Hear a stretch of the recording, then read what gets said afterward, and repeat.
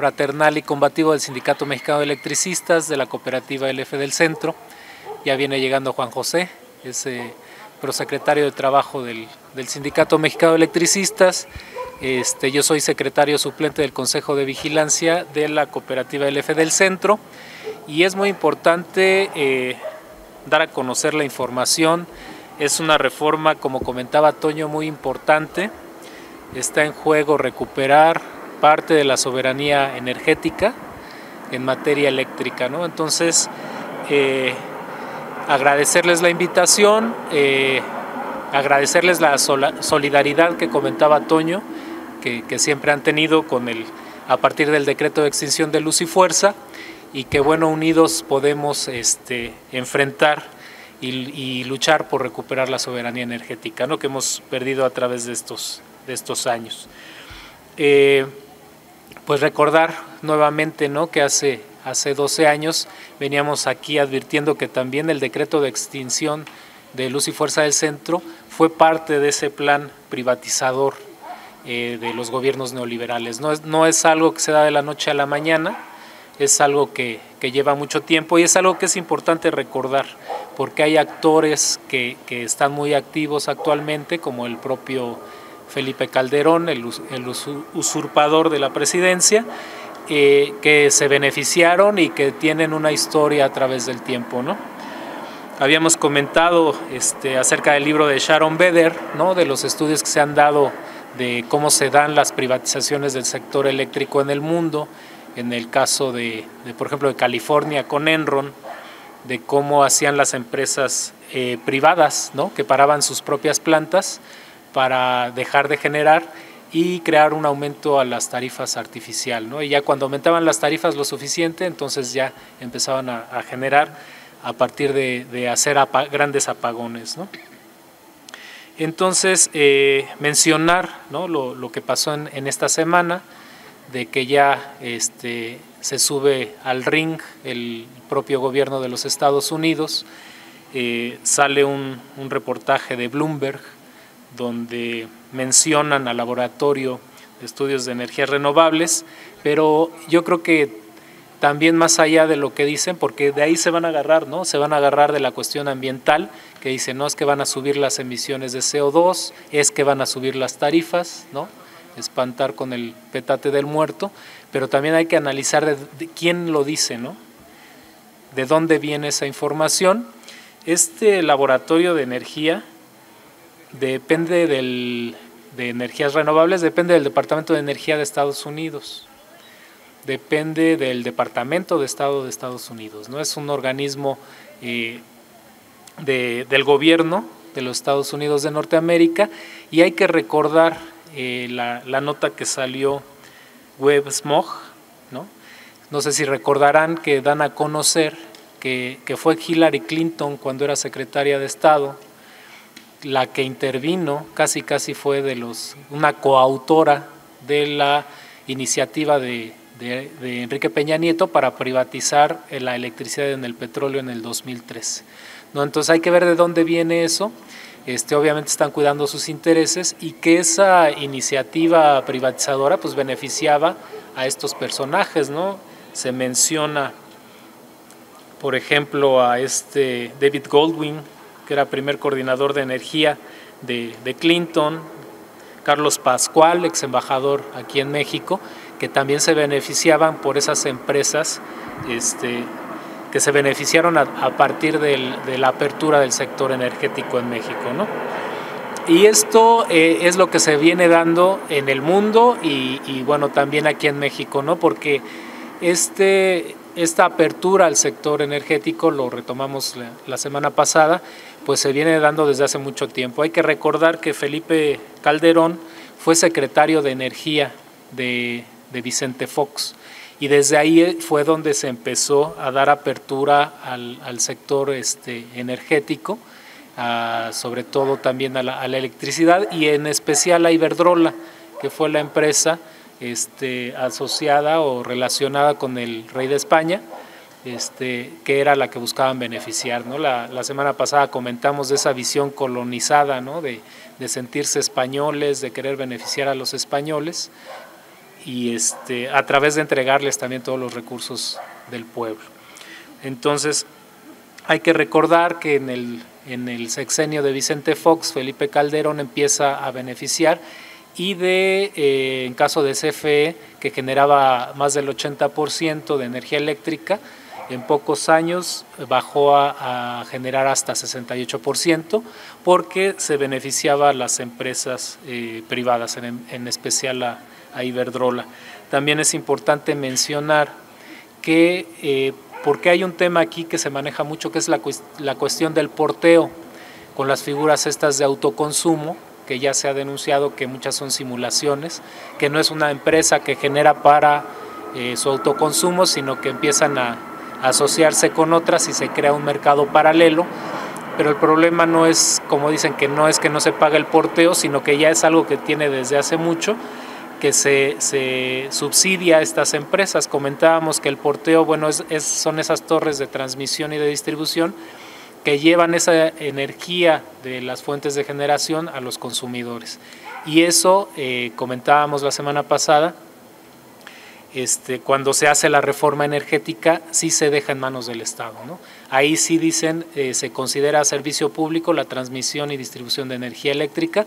¿Por qué? Porque es lo que no es el gran negocio, eh, es donde se tiene que invertir mucho, es donde se tiene que dar mantenimientos y entonces eso se lo dejan al Estado, ¿no? en particular a la Comisión Federal de, Electricidad.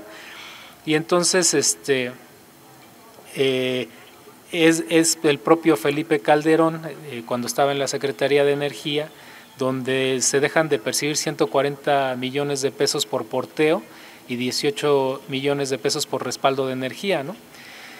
Eh, para los de autoabastecimiento perdón, y cogeneradores, y fueron menores a sus costos medios contables. O sea, ¿qué es lo que hace? Pues empieza a, dejar de generar energía eléctrica la propia Comisión Federal de Electricidad y lo que hace eh, Felipe Calderón cuando está en la Secretaría de Energía es a bajar, a bajar los costos de porteo, ¿no?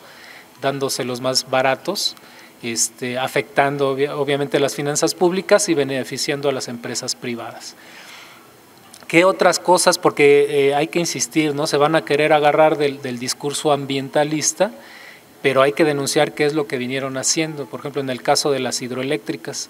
Entonces se acordarán que Felipe Calderón argumentó cuando se daban las inundaciones en, Tabasco, ¿no? porque se desbordaban las presas, que él argumentaba de manera este, fantasiosa que era por la luna, era culpa de la luna que se desbordaran las presas y que se inundara este, Tabasco. Y este, pues la explicación, la realidad era que dejaban de, generar las hidroeléctricas para darle oportunidad de entrar a las empresas de ciclo combinado de Iberdrola y, demás este, particulares.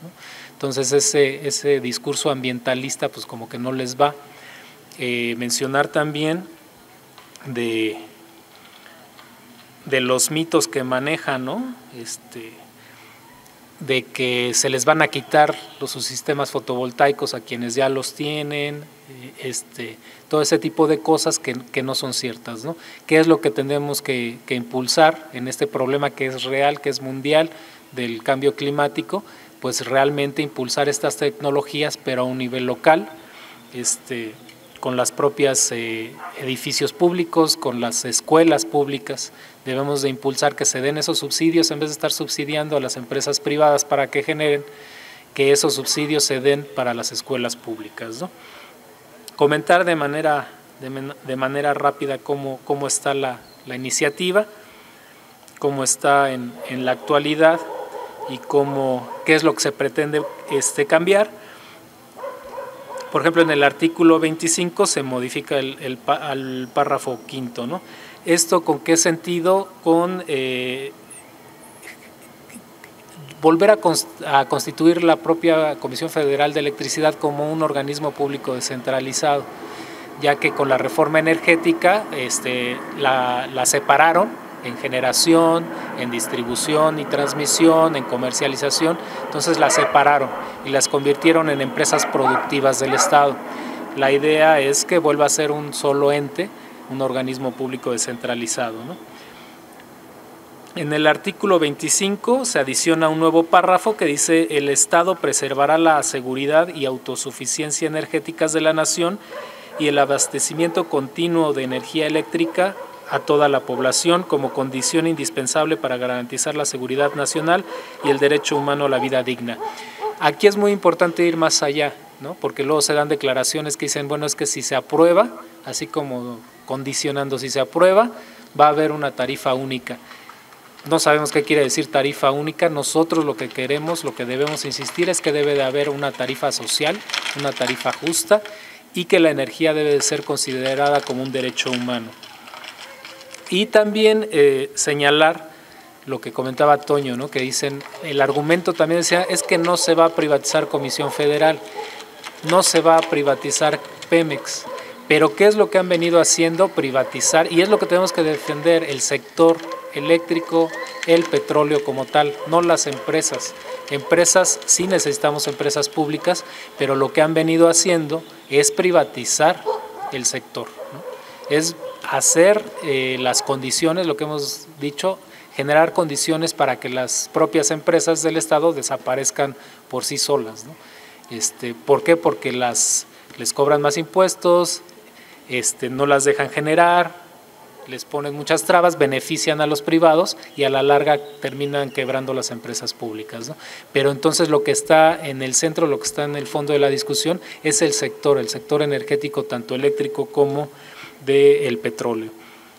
Del artículo 27 se plantea una modificación al, artículo 27. Eh, tratándose de minerales radioactivos, decía antes, no se otorgarán concesiones. Ahora lo que se plantea es tratándose de minerales radioactivos, litio y demás minerales considerados energéticos para la transición energética. Ese agregado es muy importante. El litio va a jugar un papel importante en un futuro eh, porque se va a poder, eh, bueno, para eso sirve para almacenar energía eléctrica, para los autos también este, eléctricos. Lo más caro eh, de un auto eléctrico realmente es las pilas, ¿no? las, mismas baterías, cuando dejan de funcionar, el, automóvil pierde totalmente su valor. Entonces es, es, algo que tenemos que proteger.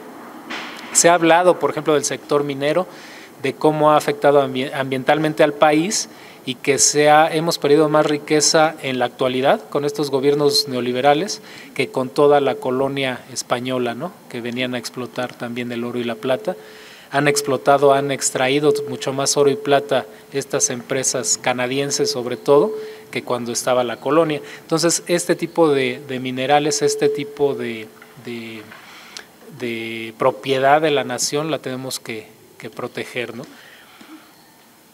Eh, también se, añade otra parte que dice, corresponde exclusivamente a la nación el área estratégica de la electricidad, consistente en generar, conducir, transformar, distribuir y abastecer energía eléctrica. ¿no? Entonces, ¿qué decía antes? Corresponde exclusivamente a la, nación la planeación y, el control del sistema eléctrico nacional, así como el servicio público de transmisión, distribución de energía eléctrica. Lo que comentábamos, ¿no? Le dejaban al Estado pues lo más caro, darle mantenimiento a las redes de transmisión, darle mantenimiento a las redes de distribución. Y este y el negocio pues se lo dejaban a los privados. Ahorita lo que se busca es modificar la Constitución para regresarla a el área estratégica de, electricidad en generar, conducir, transformar, distribuir y abastecer. La nación aprovechará los bienes y recursos naturales que se requieran para dichos fines.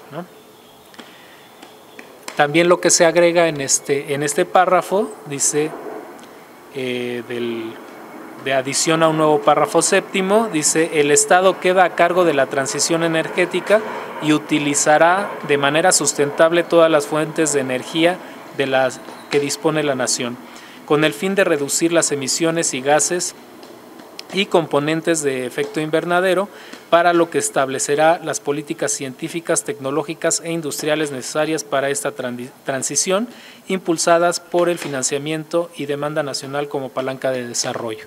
Esto es muy importante porque ya se ha mencionado que, que se dice que los privados trajeron grandes inversiones, ya se explicó la semana pasada, que ellos pues traen ya el contrato, ya traen el permiso de los gobiernos, van a la banca de desarrollo, van al banco, piden préstamos y por eso se los dan. y resulta que, como comentaba Juan José la semana pasada, la mayoría de esos, de esos dineros pues son dineros de nosotros, ¿no? de nuestras afores. Entonces, nuestros dineros nosotros queremos que se inviertan en una industria nacional. El comentábamos la semana pasada, se dice que pública, privada o del sector social, pues ¿por qué no del sector social de la economía? ¿no? Generar esa economía social y solidaria. Eh, modificación al artículo 27, al actual párrafo séptimo, ahora párrafo octavo, porque se agrega un nuevo párrafo. Es en el mismo sentido de volver a, implementar a, estas empresas del Estado como empresas, eh, organismos públicos descentralizados y que dejen de ser empresas productivas del Estado. El artículo 28, modificación al párrafo cuarto, vuelve a tocar el tema del litio y demás minerales estratégicos, ¿no? No constituirán monopolios las funciones que el Estado ejerza de manera exclusiva en las siguientes áreas estratégicas. Ya estaba correos, telégrafo, radiotelegrafía, minerales radioactivos y se agrega litio y demás minerales estratégicos, generación de energía nuclear y se agrega también electricidad. Entonces no se va a considerar un monopolio, este, la extracción y todos los procesos relacionados con el litio. También se agrega otra parte, dice la, comunicación vía satélite, los ferrocarriles y las industrias requeridas, requeridas perdón, para la transición energética. O sea, eh, les, les lo, lo, repito, ¿no? Se va a querer manejar mucho el discurso ambientalista de que más emisiones, que no vamos a cumplir con los compromisos de París pero aquí viene en la Constitución, pues está enmarcando esa, esa propia obligación, ¿no? esa, esa preocupación que debemos de tener. El artículo 28, adición de nuevo párrafo sexto, dice la Comisión Federal de Electricidad, organismo del Estado con personalidad jurídica y patrimonio propio, otra vez se vuelve a, a concentrar como una sola empresa, no como varias empresas con subsidiarias es responsable de la electricidad y el sistema eléctrico nacional, así como de su planeación y control. Será autónomo en el ejercicio de sus funciones y en su administración, y estará a cargo de la ejecución de la transición energética en materia de electricidad, así como de las actividades necesarias para esta. Se adiciona también un párrafo séptimo. La Comisión Federal de Electricidad generará al menos el 54% de la energía eléctrica que requiera el país. Comentábamos esto, ¿no? Eh, cómo ha dejado de generar Comisión Federal de Electricidad precisamente por las políticas de las secretarías de energía, con Felipe Calderón, por ejemplo, durante el sexenio de Peña Nieto, y, digamos que pues, son esta misma empresa, Comisión Federal de Electricidad, finalmente son esos mismos trabajadores, por eso el pueblo nos tenemos que, que organizar. ¿no?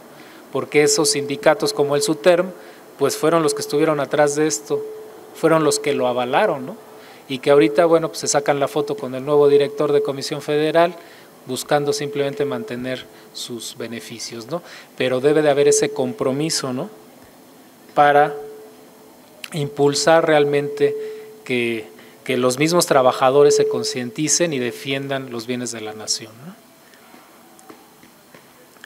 Eh, entonces ahorita lo que se busca recuperar es que el 54% sea generación de, Comisión Federal de Electricidad o del Estado este, a partir de la Comisión Federal de Electricidad y el sector privado participará hasta en el 46% de la generación que requiera el país.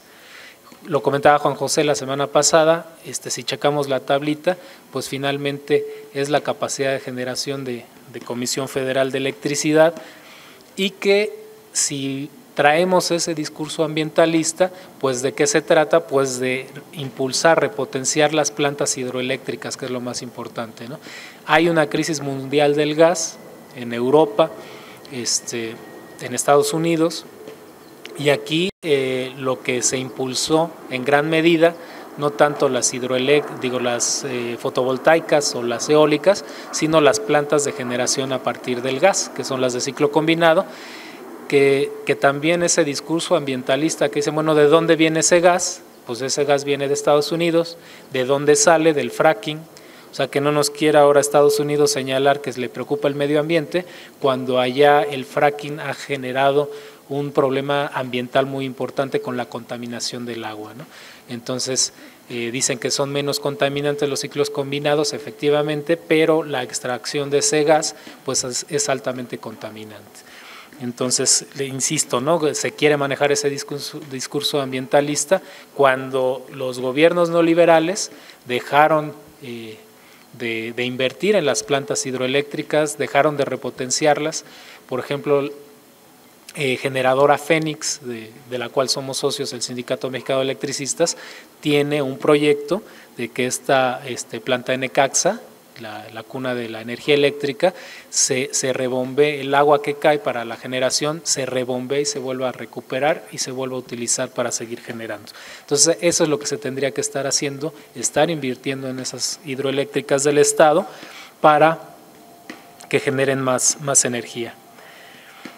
Eh, el servicio público de abastecimiento de energía eléctrica será prestado exclusivamente por la Comisión Federal de Electricidad, la que podrá adquirir energía eléctrica del sector privado. Con las modificaciones a la Constitución y la nueva ley de la industria eléctrica a partir del gobierno de Peña Nieto, se generaron dos mercados, podríamos decirlo, un mercado eléctrico mayorista, donde se compraba la energía de grandes consumidores, este, a partir de, subastas o a partir de contratos directos, como si se, si se certificaban como usuarios calificados, creo que es a partir de un, de un gigawatt en adelante, si, si, mal no recuerdo, pero el chiste es que ya este, acreditados como usuarios calificados por ser grandes consumidores, podían contratar directamente con alguna empresa, ya sea Comisión Federal de Electricidad o con alguna empresa privada. Entonces lo que nos dice en, este, en esta modificación es que ese se acaba, ¿no? Este, el control del abastecimiento, o sea, de la comercialización, lo va a realizar Comisión Federal de Electricidad. Y en esa, en la, ley de Peña Nieto, las modificaciones de Peña Nieto, a la Constitución también había un, eh, este, mercado de consumo básico. Entonces se, se iban a dar permisos para que empresas privadas pudieran también dar el servicio básico de energía eléctrica, ¿no? que es más o menos como lo, lo, que pasa con las gasolineras, vamos a ponerlo de ejemplo, ¿no? que ven que ya hay unas que se llaman Exxon, hay otras que se llaman Móvil y están las de Pemex, pero finalmente el, combustible pues, es el mismo. ¿no? Eh, digamos que también pasaba, ¿no? hay generadores privados, o pasa, más bien hay generadores privados que suben la energía que generan a la red de transmisión y generación y el planteamiento era que hubiera varias empresas que vendieran la energía a consumo básico. No, aquí con estas modificaciones que se están planteando, con esta iniciativa, no habría esa, esa posibilidad. Artículo 28, eliminación del párrafo octavo Dice, el Poder Ejecutivo contará con los órganos reguladores coordinados en materia energética, denominados Comisión Nacional de Hidrocarburos y Comisión Reguladora de Energía, en los términos que determine la ley. Entonces se quitan estos que supuestamente son autónomos, que también se utilizaron para dar permisos en condiciones que no sabemos si había corrupción o no, suponemos que sí, ¿no? Para dar todos esos permisos a los privados cuando no hay esa necesidad, ¿no? De, qué es lo que se está planteando. Si no hay una necesidad de abasto de energía eléctrica, ¿para qué le sigues dando permisos a los, a los privados? ¿no? Esa era la estrategia, seguir dando permisos y al mismo tiempo evitando de que Comisión Federal de Electricidad siguiera generando energía eléctrica, irla achicando a través del tiempo. ¿no? Eh, transitorio primero, el, presente decreto entrará en vigor al día siguiente de su publicación, ¿no? lo que trae todos los los decretos, transición, transitorio segundo, perdón, conforme a lo dispuesto en los artículos 25, 27 y 28 constitucionales de este decreto, se constituye al Estado en el responsable del sistema eléctrico nacional a través de la Comisión Federal de Electricidad, por lo que el mismo día de entrada en vigor del presente decreto se instala dicho sistema en los términos siguientes. Inciso A, los permisos de generación eléctrica otorgados y los contratos de compraventa de electricidad con el sector privado se cancelan, así como las solicitudes pendientes de resolución. ¿Qué quiere decir esto? no? Porque ya empiezan ahí los, los de Televisa, bueno, sabemos que les, quienes les pagan, a decir, no, es que es totalmente violatorio de la, de la ley, del Estado de Derecho, ¿no? cosa que ellos los gobiernos neoliberales hacían constantemente, violentaban el Estado de Derecho y lo avalaba la Suprema Corte de Justicia de la Nación. Aquí lo que se está planteando es, o lo que se entiende, es que se van a cambiar las condiciones de esos propios contratos, ¿no?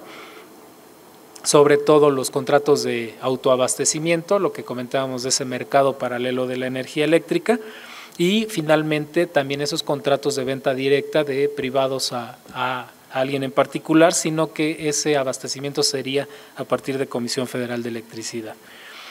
La CFE se convierte en el organismo perdón, del Estado responsable del área estratégica de la electricidad, de su planeación y control, autónomo en el ejercicio de sus funciones y en su administración.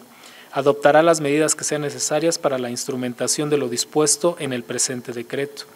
Inciso C, la CFE se entrega se integra perdón, como un solo organismo del Estado en forma vertical y horizontal, por lo que se suprime la separación legal de sus empresas subsidiarias y filiales, subsistirán la subsidiaria CFE Telecomunicaciones e Internet para Todos y las filiales CFE Energía, CFE Internacional y CFE Capital y podrá crear las que consideren convenientes. ¿no? Lo que comentábamos, se habían separado como empresas subsidiarias o como empresas productivas del Estado. Ahora lo que se busca es volver a integrar CFE como una sola empresa, un solo organismo del Estado con estas excepciones.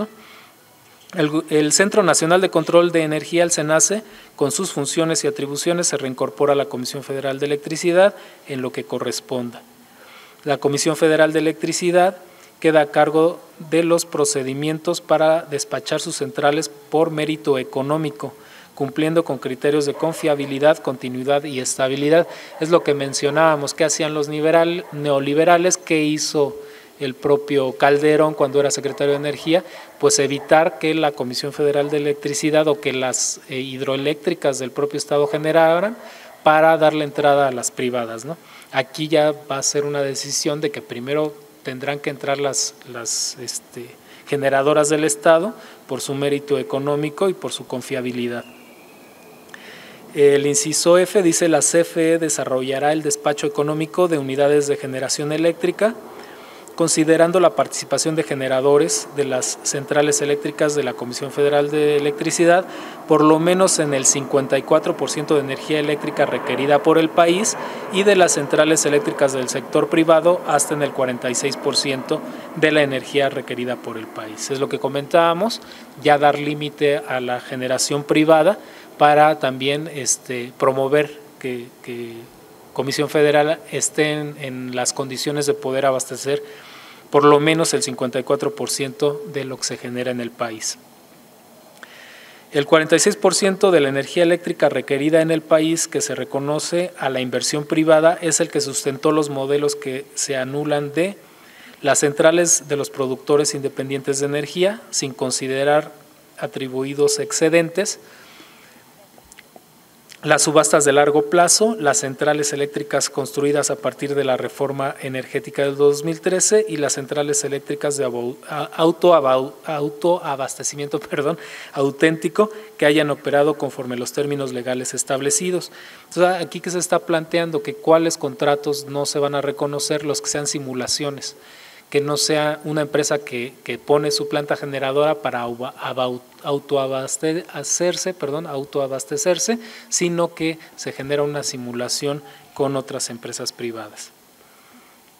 La Comisión Federal de Electricidad adquirirá la energía eléctrica y capacidad generada por el sector privado requerida en el corto plazo mediante la competencia para su despacho por sus menores costos de producción en beneficio de los usuarios finales. ¿Qué es lo que se argumenta luego en algunos noticiarios que dicen, no, pues es que la energía más barata o es más cara la energía de Comisión Federal de Electricidad, ¿no? Y que es más barata la de los privados, cuando más bien se tiene que pagar, por ejemplo, en el caso de las fotovoltaicas, hasta los ciclos combinados, ¿no? Esos certificados de energías limpias que, que se inventaron, ¿no? Eh, la Comisión Federal de Electricidad establecerá las modalidades de contratos necesarias para la adquisición de energía eléctrica y capacidad generada por el sector privado como régimen especial distinto a lo establecido en el artículo 134 constitucional a fin de dar cumplimiento al servicio público de abastecimiento de energía eléctrica. La Comisión Federal de Electricidad establece las modalidades necesarias para la contratación de bienes y servicios, obras y combustibles en el marco general del artículo 134 la generación procedente de las modificaciones a los permisos de autoabastecimiento que fueron otorgados en contravención a lo establecido en la Ley del Servicio Público de Energía Eléctrica, lo que constituye una ilegalidad, no será reconocida ni adquirida por la CFE. O sea, ¿qué es lo que están mencionando con la reforma? Es que lo que no se va a reconocer es lo que se generó como una simulación, como un mercado eléctrico paralelo que realmente... ¿vale? El mercado negro de energía exactamente lo que se menciona, lo que realmente no, no es autoabastecimiento. ¿no?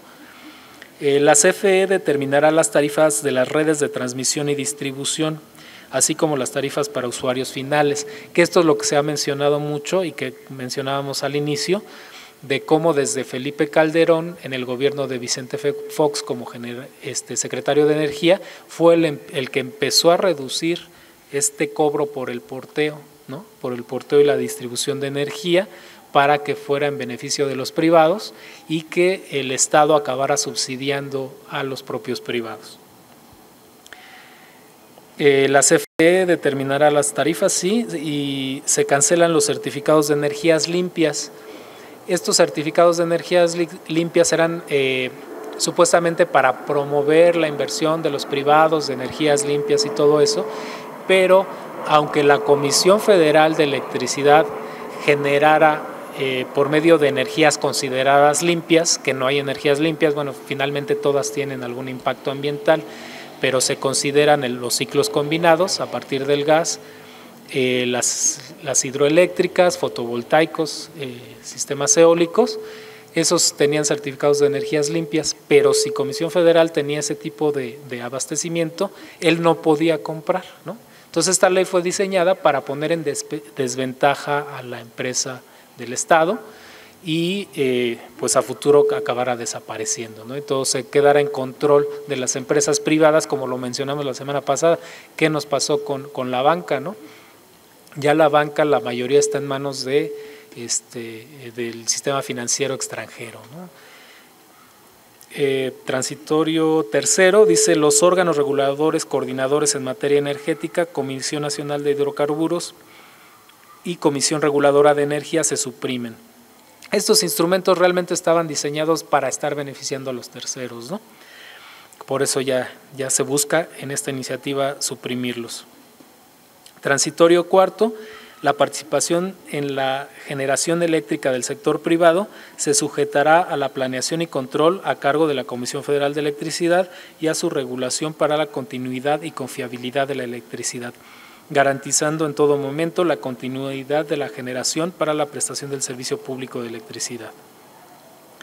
Transitorio quinto, para la transición energética soberana se establece política industrial para la electricidad desde la transformación de recursos naturales hasta la manufactura de equipos para usos finales, ciencia y tecnología nacional, propiedad intelectual del Estado, de tecnologías, sistemas y equipos, manufactura por entidades públicas, de componentes y equipos considerados críticos, financiamiento, de la banca de desarrollo y mercado nacional para crear empresas públicas. Era lo que comentábamos desde la semana pasada y hace rato también, empresas públicas, sociales y privadas de capital nacional. Sociales. Aquí está hablando de los tres sectores económicos que lo enmarca la Constitución. Dice la Constitución que está el sector privado, el sector público y el sector social de la economía. Entonces, ¿qué tendremos que impulsar o qué qué, idea tenemos también, que se impulsa el sector social de la economía, que se generen más cooperativas, que sean propiedad. Lo comentaba la, semana pasada, ¿no? Cómo a veces nos quieren comparar con otros países, pero aquí todo se lo queremos dar al extranjero. Cuando, por ejemplo, en Alemania el 75% del sector financiero está en manos de cajas de ahorro populares o de cooperativas de ahorro y préstamo. Por eso en el 2008 no es ese ese golpe a la economía, esa crisis económica del 2008, pues no les afectó tanto. Entonces es lo que tenemos que generar aquí, este, impulsar el sector social de la economía. Yo comentaba cómo hay un proyecto ahí en, un predio recuperado por la resistencia del Sindicato Mexicano de Electricistas para los trabajadores que se encuentra en la delegación, en la alcaldía Azcapotzalco, ahí en Xochinahuac, donde se tiene el proyecto de generar una, una fábrica de paneles fotovoltaicos, ¿no? y que ya, ya hasta nos visitó el gobierno de la Ciudad de México, está ese proyecto y digamos que a partir de lo que establece ese, ese transitorio podemos generar ese tipo de, emprendimientos con capital nacional para beneficio, que las ganancias de, de, esos emprendimientos se queden en la nación y no lo que pasa actualmente, que son empresas extranjeras, que las ganancias se, quedan, se van a sus países. Transitorio sexto, las concesiones mineras ya otorgadas por el Estado mexicano y por las cuales ya se están explorando y o explotando oro, plata, cobre y otros minerales, se conservan en los términos que fueron otorgadas. Esto pues igual no nos da mucho gusto porque nos gustaría también que se recuperara ese sector, pero bueno, ahorita no es posible. Pero dice, sin embargo, estas concesiones no amparan la explotación y producción de litio a las concesiones mineras ya otorgadas por el Estado mexicano y en las que a la fecha existen antecedentes de exploración de litio debidamente avalados por la Secretaría de Economía, no le será aplicada la restricción referida al párrafo anterior. Bueno, es muy importante tener este tipo de iniciativas y elevarlas a nivel constitucional para que el litio pues sea este, para los mexicanos, para beneficio de los mexicanos, y que sea explotado y que las ganancias a partir de la extracción y de todos los procesos que tenga que llevar para su uso se queden en el Estado mexicano, ¿no? para beneficio de la nación. Eh, se quitan, por ejemplo, transitorio séptimo, ah, no es cierto, perdón, se agrega el transitorio séptimo, los derechos laborales de los trabajadores que presten sus servicios en las dependencias y entidades de la administración federal dedicadas a las actividades que comprende el presente decreto se respetarán en todo momento de conformidad con la ley, ¿no? O sea, también es otra visión, no como lo que hizo Felipe Calderón, de decir, bueno, para avanzar en la privatización del sector eléctrico, lo que le estorbaba era el Sindicato Mexicano de Electricistas y lo que hizo fue desaparecer la empresa, no, no respetando los, los derechos laborales.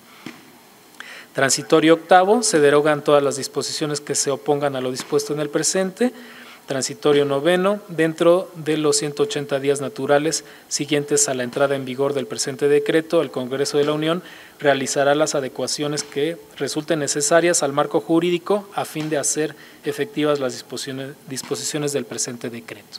Entonces, ¿qué es lo que se está buscando? Y nosotros como Sindicato Mexicano de Electricistas, como cooperativa LF del Centro, apoyamos esta iniciativa que si bien no, no es lo que quisiéramos que fuera la renacionalización de la industria eléctrica, sí es un paso importante para recuperar soberanía nacional.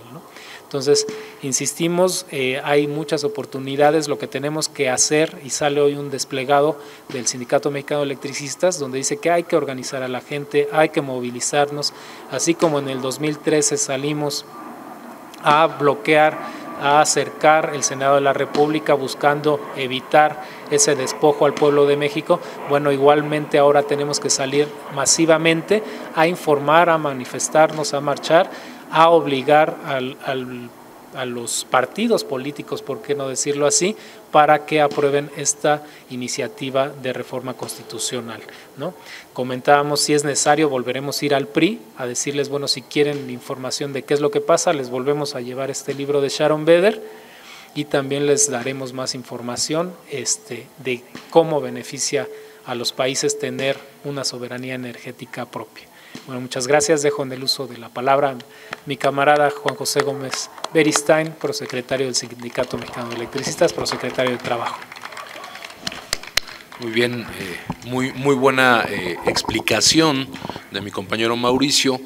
Eh, muy buenas tardes, primero que nada, y gracias a, a todas y a todos ustedes por esta invitación nuevamente estar en este espacio que ha sido eh, tan abierto y tan importante para la información sobre nuestra lucha y hoy con mayor razón sobre este, esta iniciativa de reforma constitucional del presidente de la República.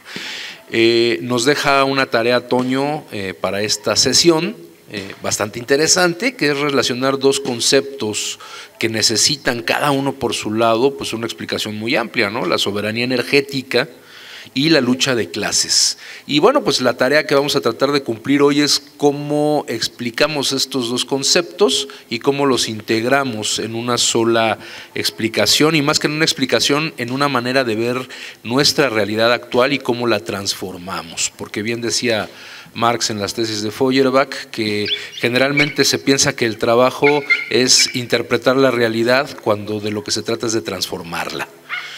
Y bueno, vamos a empezar con el concepto de soberanía, que es eh, el más espinoso incluso de, los temas, ¿no?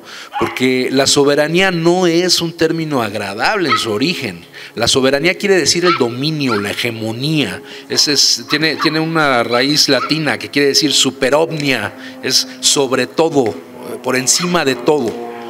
Y la eh, soberanía, bueno, pues no es una situación natural, es una formación social, es una determinación política que tiene que ver con el dominio de un territorio, con el dominio de una población o en este caso con el dominio de una serie de recursos como serían los energéticos.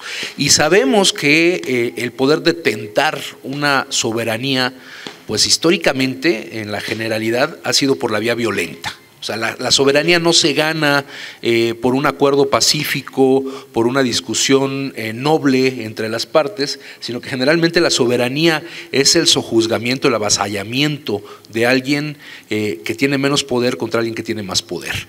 Ya con el paso del tiempo, bueno, se van dulcificando los términos, se van haciendo más aceptables, políticamente correctos, etcétera. Y entonces la soberanía hoy la entendemos como esa facultad que tienen los gobiernos eh, de eh, tener el control sobre los recursos. Es, es, una, es, es, una acepción nueva finalmente, porque esa se va determinando a partir de la construcción de los estados-nación, a fines del, siglo XVIII, durante todo el siglo XIX, que se constituyen los grandes estados-nación y se consolidan ya en el siglo XX. Entonces la soberanía se convierte en este instrumento administrativo, es decir, eh, el gobierno es quien tiene ese dominio y el gobierno lo tiene porque eh, está el entendido de que la población le cede esa facultad a su gobierno, aunque nuevamente sabemos que muchos de los gobiernos no se imponen por una vía democrática, no se generan por eh, un pacto social, sino que muchas veces es por la disputa de ese poder político, económico y social. En el caso de nuestra Constitución, esta soberanía está definida en el artículo 39, que dice, la soberanía nacional reside esencial y originalmente en el pueblo. Todo poder público dimana del pueblo y se instituye para beneficio de éste. El pueblo tiene en todo tiempo el inalienable derecho de alterar o modificar la forma de gobierno sabemos que esto no se ha cumplido. Eh, el intento más reciente pues fue antes incluso de, crearse este, esta constitución de 1917.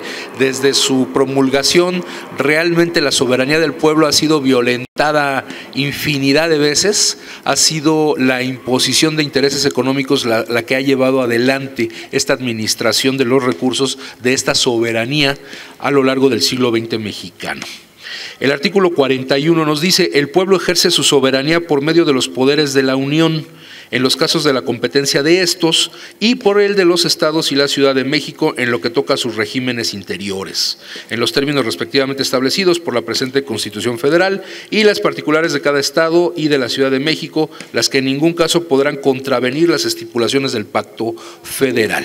Entonces, bueno, eh, en términos prácticos, eh, bueno, existe la soberanía en papel, existe en eh, plasmado en nuestra Constitución, pero ¿qué tanto hemos ejercido nuestra soberanía?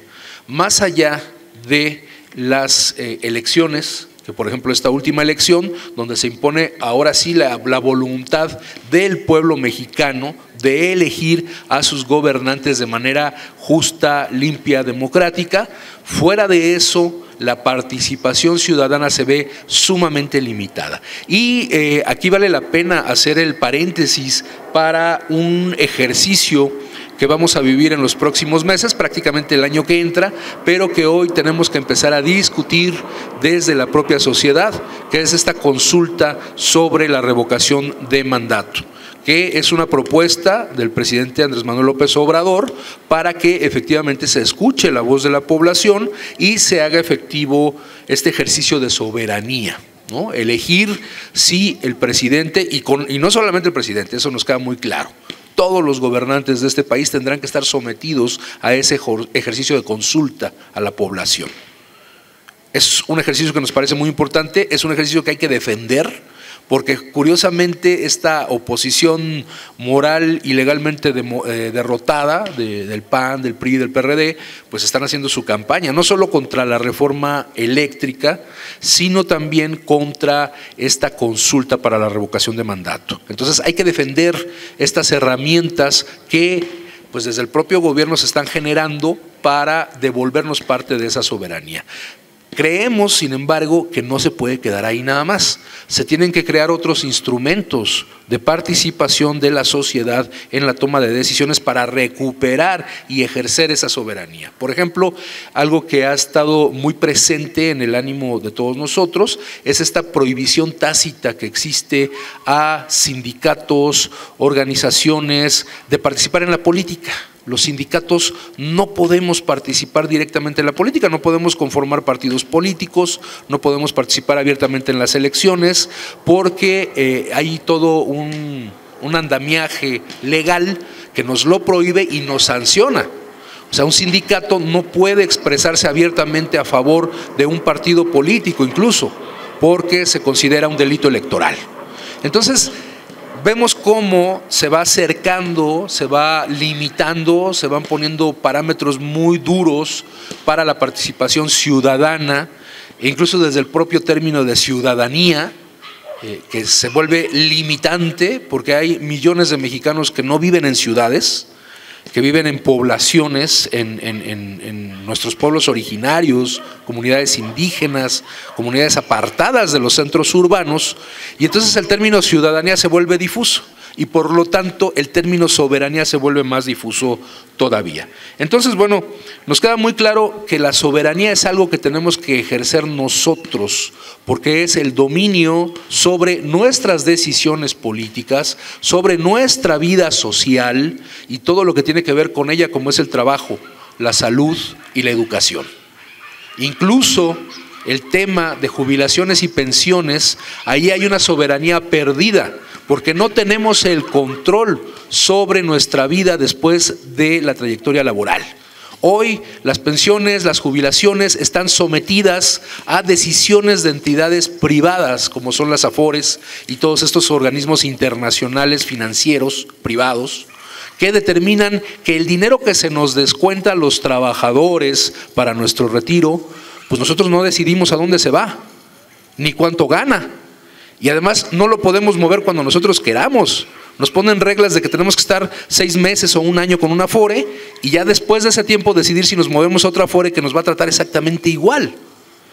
Porque ese dinero que nosotros no decidimos la cantidad que nos quitan, ni decidimos a dónde se va, es el que utilizan estas afores para financiar a las grandes empresas transnacionales. Entonces, ahí estamos perdiendo también la soberanía sobre nuestros recursos económicos y sobre nuestra propia vida. Entonces, ese es un tema que también tenemos que profundizar más adelante. Nosotros por eso también hemos impulsado diferentes herramientas, porque más allá de ser un gremio, de formar parte de un gremio que es el gremio electricista, somos trabajadoras y trabajadores, proletarios de este país, que somos igual o más explotados que muchos otros trabajadores de otros ámbitos. Y entonces todos esos aspectos de nuestra vida tenemos que recuperar el control y nosotros hemos optado por la parte política, bueno, de buscar nuestra propia expresión política como trabajadores.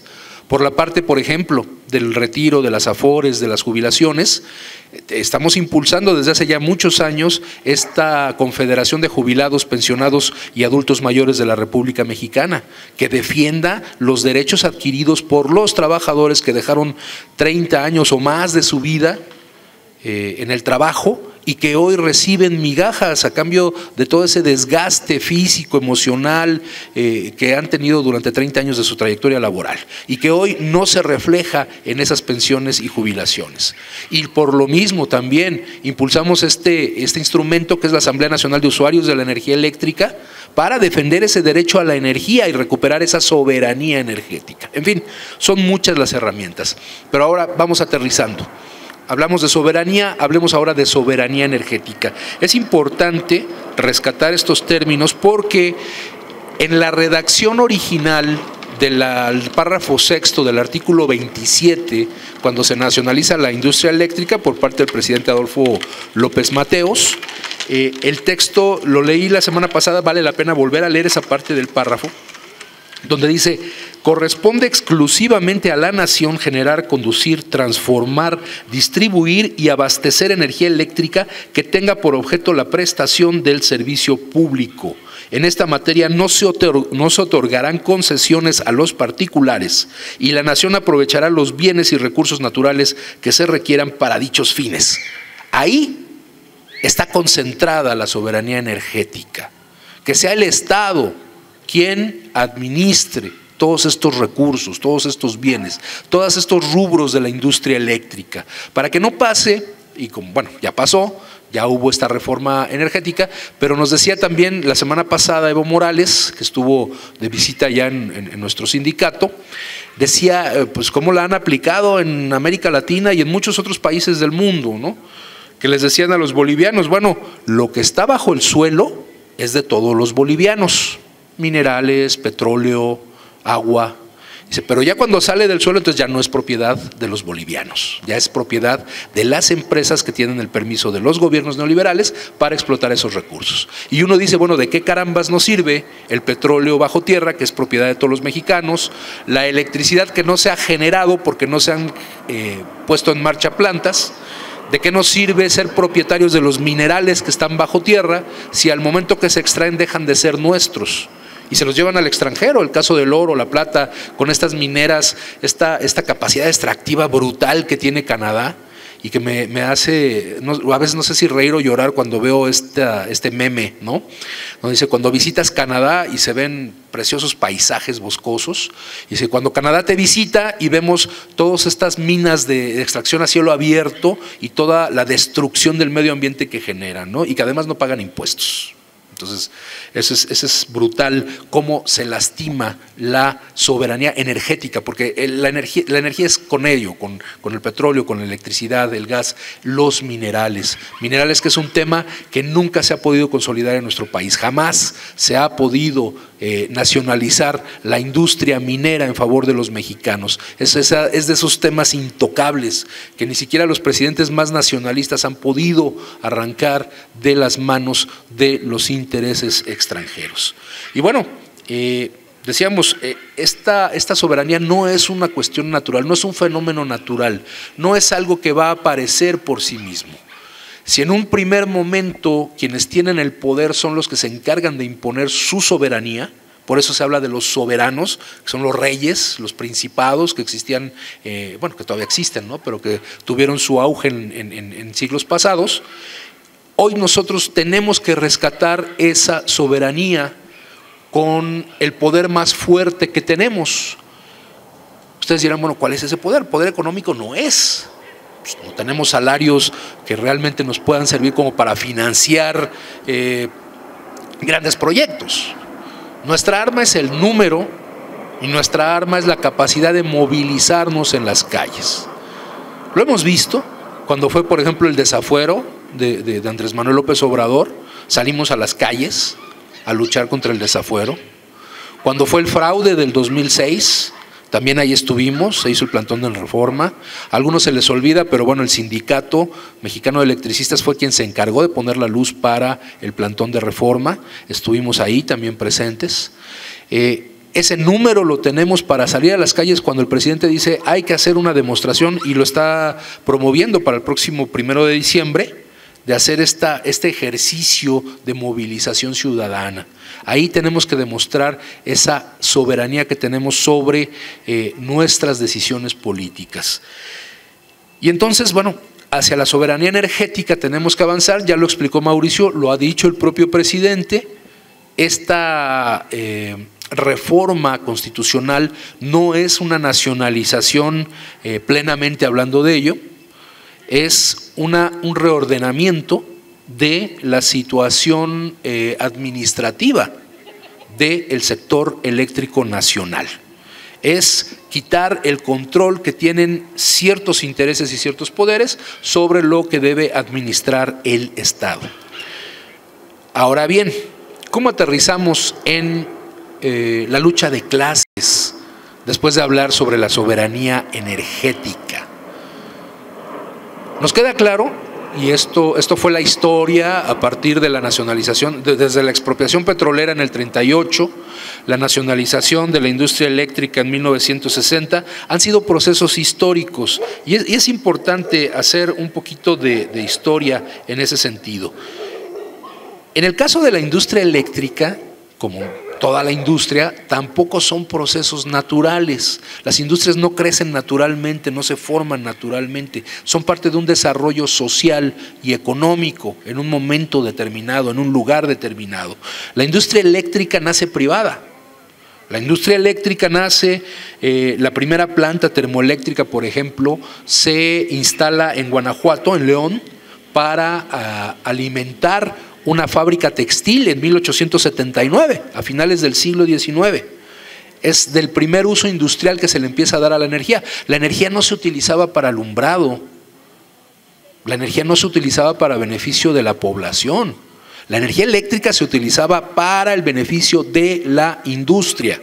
Y en este caso, las dos grandes industrias que se beneficiaron con la creación de la energía eléctrica, porque es una creación del ser humano, explotar los recursos, digo, en la naturaleza lo que existe son descargas eléctricas que no son controlables, pero la energía eléctrica como la conocemos es una invención del ser humano.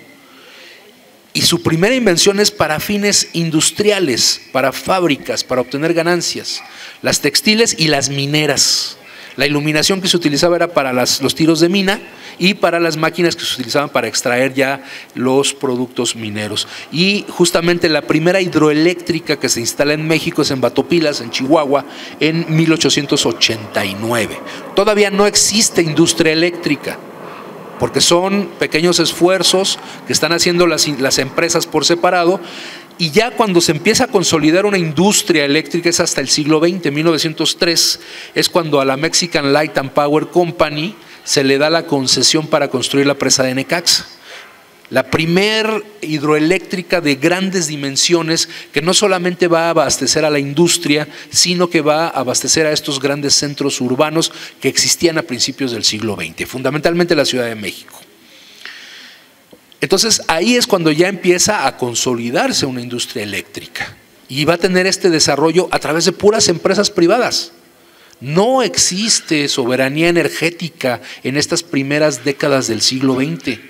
El gobierno no tenía un control más allá de concesionar los espacios para que construyeran las plantas. La tecnología lo tenían los extranjeros, el desarrollo lo tenían los extranjeros. El gobierno decía, pues órale, nada más Pásame una parte de lo que obtienes de ganancia como impuesto, pero no existía la soberanía energética como tal. Ahora, este proceso de lograr la soberanía energética no se logra hasta 1960 solamente. Son procesos que están sobrepuestos. Porque en 1937 el general Lázaro Cárdenas, siendo presidente de México, es quien crea la Comisión Federal de Electricidad. ¿Por qué la crea? Porque dice, bueno, tenemos empresas, tenemos esta industria eléctrica, ya en 1937 tenemos una industria eléctrica que ya tuvo incluso huelgas de los trabajadores de la industria eléctrica, el caso de la huelga de 1936, 10 días se queda sin luz la Ciudad de México por la huelga del Sindicato Mexicano de Electricistas. Ya hay una industria. Y el gobierno dice, bueno, pues tenemos que darle eh, eh, forma, tenemos que darle estructura a esa industria eléctrica, no es solamente para el interés privado. Y por eso se crea la Comisión Federal de Electricidad, para empezar a abastecer de energía pues, toda la, a toda la República, no solamente a los centros urbanos, industriales, comerciales, productivos del país, sino que la energía eléctrica esté al alcance de toda la población. Y bueno, Eh, va a empezar en 1937 la Comisión Federal, va a ser más simbólico que otra cosa su trabajo, porque eh, pues ya hasta llegada la década de los 50 va a haber ya un debate muy importante sobre eh, el desinterés que tienen estas empresas privadas en el desarrollo nacional. Ellos obtienen su ganancia, a ellos ya no les preocupa modernizar sus equipos, no les preocupa darle mantenimiento a las plantas, no les preocupa darle mantenimiento a las acometidas eléctricas que tienen en las casas. Ellos pues, simplemente siguen cobrando sus tarifas que además eran altísimas. Y se empiezan a formar estas ligas de usuarios de energía eléctrica que van a estar presionando y junto con organizaciones de trabajadores, como es también el caso del ESME, eh, apoyan la iniciativa presidencial en 1960 de nacionalizar la industria eléctrica. Empieza un segundo ciclo.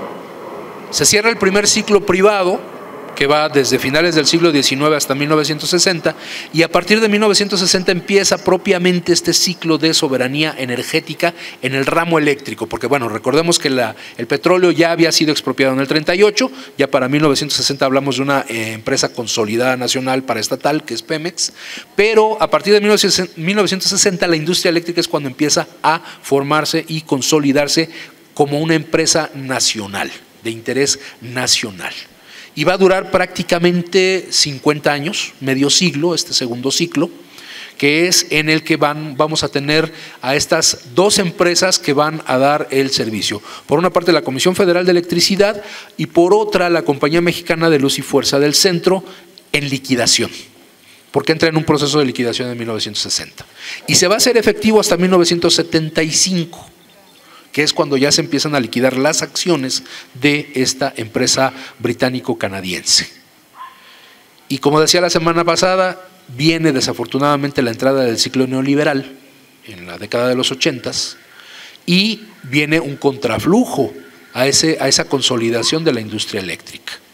Y entonces lo que se planifica es nuevamente la reprivatización, el despojarnos otra vez de la soberanía energética. Y les repito, son procesos superpuestos que se van a ir encimando. Ya decíamos la, la, semana pasada, bueno, pues primero fue la puerta de atrás que abre Carlos Salinas con las reformas a las leyes secundarias y se consolida ya este proceso en el 2013 con la reforma de Enrique Peña Nieto, que privatiza el sector eléctrico. Bueno. Caminamos hacia la búsqueda de una reforma eh, eléctrica que nos devuelva soberanía energética, sí. Y volvemos otra vez a la pregunta, ¿cómo o qué tiene que ver ahí la lucha de clases? Sea en la industria privada, ojo con lo que voy a decir, ¿eh? sea en la industria privada o sea en la industria nacionalizada, estamos asistiendo a un mismo modelo económico, industrial y productivo que es capitalista. Ya sea en manos de empresas privadas o en manos del Estado, el modo de producción mediante al cual se mantienen las relaciones entre patrones y trabajadores es capitalista. Hay una relación obrero-patronal. Y esta relación obrero-patronal, si nos remontamos a la historia, pues es la base de la crítica que en 1848 eh, lanza Carlos Marx en el Manifiesto Comunista. Eh, él dice, la historia de todas las sociedades que han existido hasta nuestros días es la historia de la lucha de clases. Hombres libres y esclavos, patricios y plebeyos, señores y siervos, maestros y oficiales. En una palabra, opresores y oprimidos se enfrentaron siempre mantuvieron una lucha constante, velada unas veces y otras franca y abierta. Lucha que terminó siempre con la transformación revolucionaria de toda la sociedad o el hundimiento de las clases beligerantes. La moderna sociedad eh, burguesa, que ha salido de entre las ruinas de la sociedad feudal, no ha abolido las contradicciones de clase toda la sociedad va dividiéndose cada vez más en dos grandes campos enemigos, en dos grandes clases que se enfrentan directamente, la burguesía y el proletariado. Entonces, pensemos, por ejemplo, en esta industria eléctrica que nace privada. En 1914 nace el Sindicato Mexicano de Electricistas dentro de esta industria eléctrica privada. Nace como una formación de trabajadores que van a defender los derechos y van a buscar las mejores condiciones laborales para sus trabajadores. Y se enfrentan a un patrón extranjero, a un patrón privado, avalado por el gobierno mexicano de aquel entonces, de Porfirio Díaz y después de Victoriano Huerta y después de Venustiano Carranza, que eh, van a reprimir, van a despedir a los trabajadores, que no van a respetar condiciones mínimas de seguridad en un ambiente industrial como es la industria eléctrica. Ahí está presente esta lucha de clases porque finalmente, y esto no solamente en la industria eléctrica, en todos los casos que podamos pensar, la relación entre el patrón y los trabajadores está dada a través del salario. ¿Y qué es el salario? El salario es el pago que se les da a los trabajadores por vender lo único que tienen como patrimonio, como propiedad, que es su fuerza de trabajo. Todas nosotras, todos nosotros, sí, digo, salvo que aquí haya alguien que sea dueño de alguna empresa y tenga trabajadores a su cargo, etcétera, todos nosotros somos proletarios, todos nosotros somos obreros, todos nosotros somos trabajadoras y trabajadores asalariados.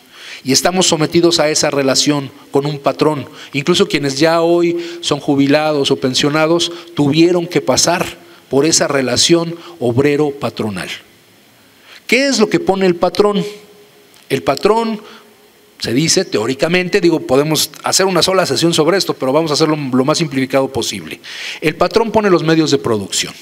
¿Cómo los obtuvo? Bueno, pues dice también el propio Marx, ¿no? que la burguesía este, crea este capitalismo en medio de lodo y sangre, porque esa es la forma como se apropia del capital inicial, la acumulación originaria del capital. Es a costa del de, eh, despojo de los campesinos, del el despojo de los pueblos originarios, en el caso de las colonias, cuando se da el, el famoso descubrimiento de América.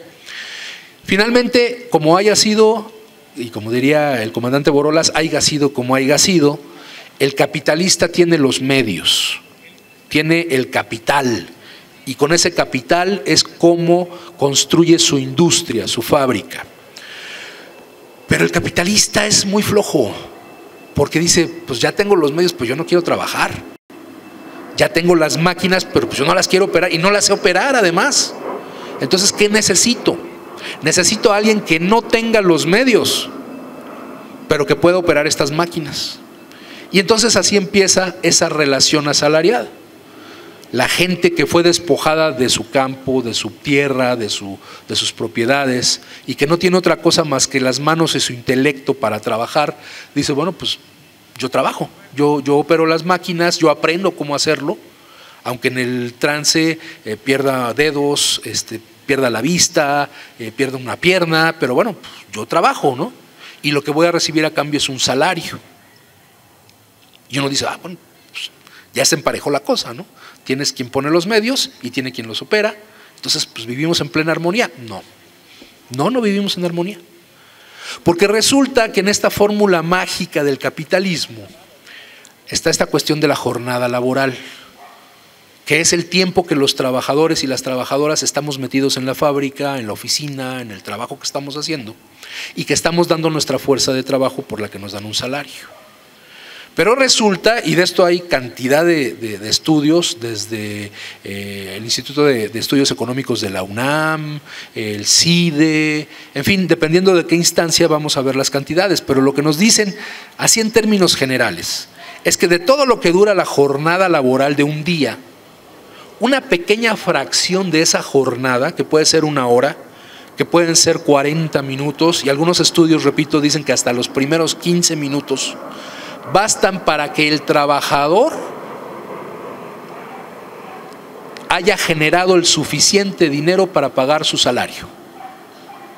Con una fracción de la jornada laboral es más que suficiente para pagar el salario del trabajador.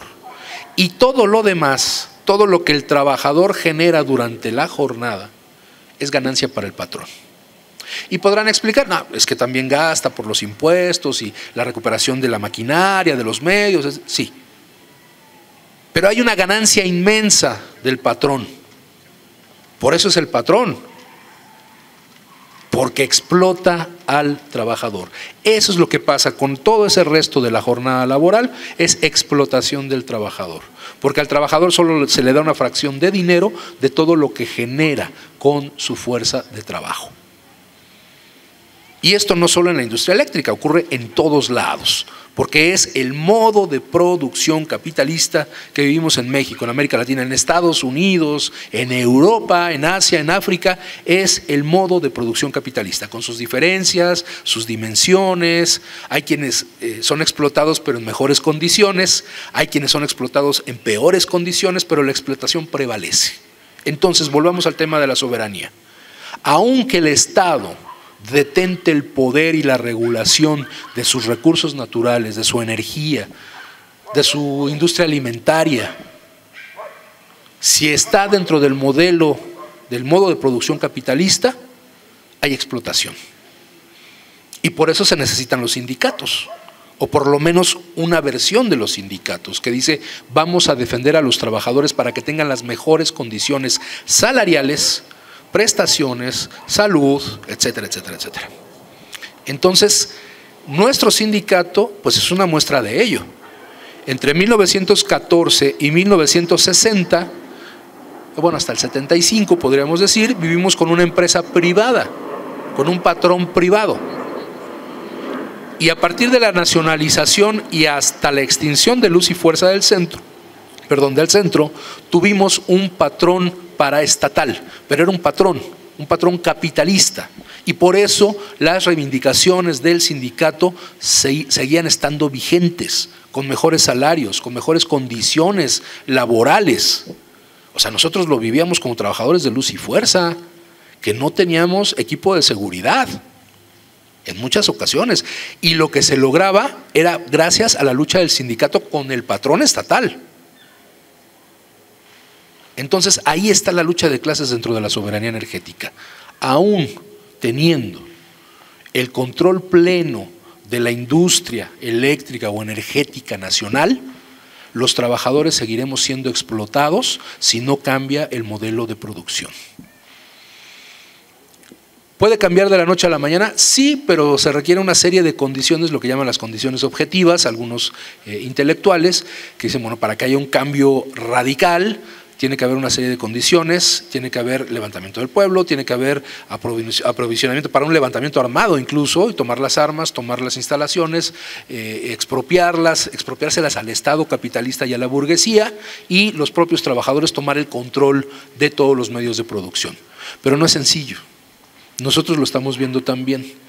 La forma más cercana a, ese, a esa soberanía, a esa emancipación, porque ese es el término más apropiado, emancipación de los trabajadores de toda este, esta explotación, lo más cercano que conocemos en este momento es justamente el cooperativismo, la economía social, donde los propios trabajadores somos los dueños de esos medios de producción y donde la ganancia se tiene que repartir de manera equitativa entre los socios de esa cooperativa o de esa organización de trabajadores y trabajadoras que se tenga. Es quizás el modelo más cercano que también puede pervertirse, que también puede eh, mal utilizarse y generar otras formas de explotación e incluso de autoexplotación, que ese es otro tema también bien interesante. Entonces vámonos por partes. Muchos a lo mejor diríamos, estamos en el momento preciso para tomar no solamente de vuelta la energía eléctrica, el petróleo, etcétera, para el país, sino además para que ahora los trabajadores sean quienes administremos, sería ideal, pero no sería realista, ¿no? Porque además los trabajadores tenemos que pasar por una serie de procesos para lograr esa emancipación. Primero se tiene que generar una conciencia de clase, o sea, ser conscientes de sí y para sí ser conscientes de quiénes somos dentro del modelo de producción, eso es fundamental. Ser conscientes de que somos objeto de explotación, eso es fundamental. Y después aprender también cómo podemos administrar esos recursos. Porque a lo mejor podemos tomar por asalto una empresa, una fábrica, y decir, ahora los trabajadores vamos a administrar la empresa. Pero ¿cuántos sabemos administrar? Y ese es uno de los grandes problemas que hemos vivido tanto en el F del centro y que no es nada más un problema del F del centro. Si vemos la experiencia, por ejemplo, en Argentina, de nuestros camaradas, nuestros compañeros de las empresas recuperadas, cuando fue toda esta crisis tremenda en Argentina del corralito, de que se les este, retuvieron sus capitales a los ahorradores, etcétera, quebraron infinidad de empresas y la única manera de pagarles a los trabajadores fue entregándoles las propias empresas. Los compañeros se metían a las fábricas, hacían la ocupación y después se les entregaban las fábricas y tenían que echarlas a andar ellos mismos. Y el gran problema que enfrentaron, el primero, fue que no tenían los conocimientos de contabilidad, de administración, etcétera. Pero el segundo gran problema que tuvieron es que no podían quitarse de encima, o de dentro, mejor dicho, esta necesidad de una relación obrero-patronal, la necesidad de tener un patrón que me diga cómo tengo que hacer las cosas, la necesidad del chicotito que me diga entras a trabajar a las 8 y sales, si bien te va a las 4, te tienes que quedar más tiempo, etcétera. Ese es el problema y tiene que ver con esa conciencia de clase. ¿Qué tanto queremos seguir siendo los explotados dentro de esa relación? Y bueno, ya para acabar con esta parte, voy a retomar lo que dice nuestro artículo sexto del Estatuto Sindical del Sindicato Mexicano de Electricistas. El artículo sexto se refiere, se refiere al objeto del sindicato. ¿Cuál es el objetivo del sindicato? Y nos dice, el Sindicato Mexicano de Electricistas tiene por objeto, y nos vamos hasta la fracción cuarta, cambiar el sistema económico. La realización de una clase trabajadora total y efectivamente consciente, unificada, disciplinada y apta, capaz de llevar a cabo el establecimiento de un sistema económico justo que permita a todos los hombres y mujeres aptos para trabajar, vivir holgadamente del producto de su propio trabajo y haga imposible el enriquecerse con el trabajo de los demás. Este es el planteamiento fundamental de nuestra organización, que no ha sido sencillo porque, repetimos, requiere toda una formación política e ideológica y hasta técnica de los trabajadores y las trabajadoras, y que, bueno, alcanzado una vez este objetivo, ya no tiene por qué existir el sindicato. Curiosamente, su objetivo supremo es su desaparición. Porque una vez que se cambie el sistema económico y que sea imposible enriquecerse a través del trabajo de los demás, el sindicato ya no tiene por qué defender a los trabajadores contra un patrón. Porque el patrón queda abolido, el patrón desaparece, deja de existir. Entonces es, es una de esas interesantes paradojas que nos planteamos la clase trabajadora. Bueno, finalmente, eh, aquí es donde establezco ya esa relación entre la soberanía energética, la lucha de clases. Son dos temas que van a tener que avanzar cada uno por su lado, pero también de manera paralela. No se va a lograr el objetivo eh, primero de uno o de otro, no lo sabemos. Lo más fácil a lo mejor es recuperar la soberanía energética, o quién sabe, a lo mejor lo que viene pronto es una revolución del proletariado. Esperemos que sí. Eh, finalmente, yo quería retomar un tema que se quedó en el tintero la semana pasada. No me acuerdo quién preguntó, bueno, ¿cuántos votos necesitamos para que pase la reforma eléctrica? En ese momento no teníamos el dato, ya hicimos la investigación. De entrada, bueno, pues eh, retomar la base constitucional. Para hacer una reforma constitucional, eh, el artículo 135 de la Constitución nos dice, la presente constitución puede ser adicionada o reformada para las adiciones o reformas para que las adiciones o reformas lleguen a ser parte de la misma, se requiere que el Congreso de la Unión, por el voto de las dos terceras partes de los individuos presentes, acuerden las reformas o adiciones y que éstas sean aprobadas por la mayoría de las legislaturas de los estados y de la Ciudad de México. Entonces, si se requiere el voto de dos terceras partes, que es una mayoría calificada, como se le llama, en esta 65 legislatura hay 500 diputados y diputadas. Morena tiene 202, el PAN tiene 114, el PRI tiene 71, el Verde Ecologista 42, el PT 33, Movimiento Ciudadano 23 y el PRD tiene 14. Para que sean las dos terceras partes se requieren 334 votos. Si sumamos a Morena, al Partido Ecologista y al PT, tenemos 277 votos, nos siguen faltando 57. Ni siquiera con los votos del PRD y de Movimiento Ciudadano se alcanzan se quedarían quedando cortos 20 votos. Necesariamente el PRI, porque digo, nos queda claro que el PAN pues no le va a entrar. El PRI sí, porque sabemos la historia del PRI, ¿no? Entonces, hablamos de que esos 57 votos tienen que salir o de las filas del PRI o de la suma entre votos del PRI, de Movimiento Ciudadano y del PRD. Pero son 57 votos en la Cámara de Diputados. Vámonos a la de senadores. En esta 65 legislatura hay 128 senadores. Morena tiene 62, el PAN 24, el PRI tiene 13, Movimiento Ciudadano 8, el Verde Ecologista 6, el PT 4, eh, Encuentro Social tiene 4, el PRD tiene 3 y sin partido hay 4 senadores. Dos terceras partes del Senado equivaldría a 86 votos de senadores. Si sumamos a Morena, el Verde Ecologista, el PT y el Partido Encuentro Social, que se supone que son la alianza que se impulsó en la campaña anterior, tenemos 76 votos, o sea, todavía nos faltan 10 votos de senadores para alcanzar esas tres, dos terceras partes de los votos. ¿Cuál es el planteamiento? Y nosotros lo hacemos a través de estos acuerdos que se publicaron hoy en Orbe de la jornada, que ya les comentamos la semana pasada, los que tomamos en la asamblea del 11 de octubre. Nosotros decimos hay que salir a las calles a, a presionar y entonces a quienes tenemos que presionar es a los partidos políticos. Estamos desarrollando un plan de acción para hacer visitas, visitas a estas entidades, a estos partidos políticos, ya lo hemos hecho en el pasado, ya lo hicimos. Lo hicimos en la sede del PRI, bloqueamos insurgentes, como comentaba Mauricio, se le fue a entregar a, al entonces candidato del PRI el libro de Sharon Beder.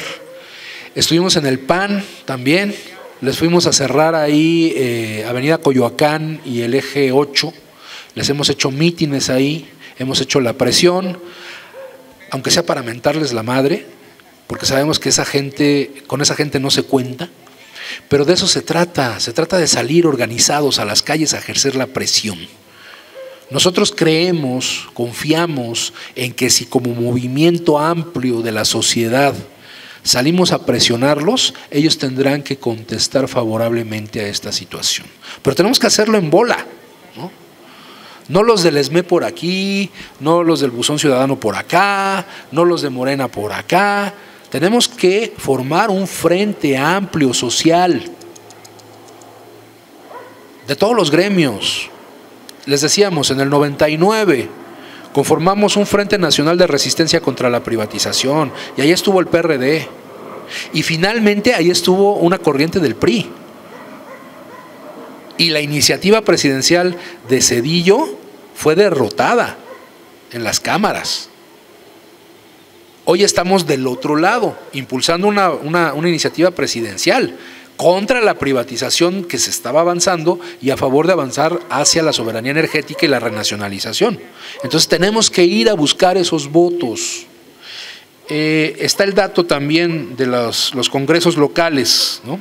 que dicen necesitamos para que una vez que se apruebe en el Senado y en la Cámara de Diputados, necesitamos que se aprueben el 50% más uno de los congresos locales, es decir, en por lo menos 17 congresos se tendría que aprobar. Ahora, cada congreso pues tiene su, su cualidad, porque las constituciones estatales son diferentes. Algunas dicen que para una aprobación de este tipo igual tiene que haber una mayoría calificada. En otros congresos dicen pues una mayoría simple, el 50% más uno. En otros ni siquiera lo menciona. Entonces hay que analizar cada una de de estos congresos. Eh, en el caso de Morena tiene la mayoría, la mayoría en aproximadamente 20 congresos en el país. O sea, eso digamos que ya aseguraría parte, de si logramos hacer pasar la reforma en, eh, en, el Congreso Federal, ya en los congresos locales sería también un efecto dominó, ¿no? o sea, tiraría las fichas por sí solas. Si el PRI acepta eh, apoyar, si no la mayoría, pero por lo menos los votos que faltan aceptan para que pase la reforma, es más fácil que pasen los estados. ¿no? Y de por sí, les repito, hay 20 estados en donde Morena tiene la mayoría. Y son Baja California, Baja California Sur, Campeche, Ciudad de México, Chiapas, Colima, Guerrero, Nayarit, Puebla, Quintana Roo, Sinaloa, Sonora, Tabasco, Tlaxcala, Veracruz, Zacatecas, Morelos, Hidalgo, Oaxaca y Tamaulipas, curiosamente. O sea, sería una labor más sencilla, pero no dudamos y consideramos que tendríamos que hacerlo también nosotros. Ir a las entidades, a visitar a los congresos locales y exigirles que voten a favor de esta reforma eléctrica. Entonces, bueno, yo espero que con esto eh, quede más claridad de qué es lo que se requiere, que López Obrador no lo va a poder hacer solo, Morena no lo puede hacer solo, se requiere de los ciudadanos, ciudadanas a pie, que no tienen partido o que no tienen una militancia directa en Morena, de gente que creemos en este proyecto de nación y que creemos que hay que profundizarlo y que creemos que tiene que haber una mayor participación de la sociedad, del pueblo, a través de crear esos instrumentos de participación política, a partir de crear esas estructuras organizativas en donde podamos confluir cuando sea necesario, cuando veamos en peligro la soberanía de nuestra nación. Pero no olvidar, no olvidar nunca quiénes somos de entrada. Somos trabajadoras y trabajadores y lo que tendremos que lograr en algún momento, si no lo vemos nosotros, por lo menos para las futuras generaciones, dejar el piso para que pueda haber una verdadera emancipación de la clase trabajadora. Yo les agradezco mucho su atención y bueno, si hay dudas, si hay intervenciones, adelante.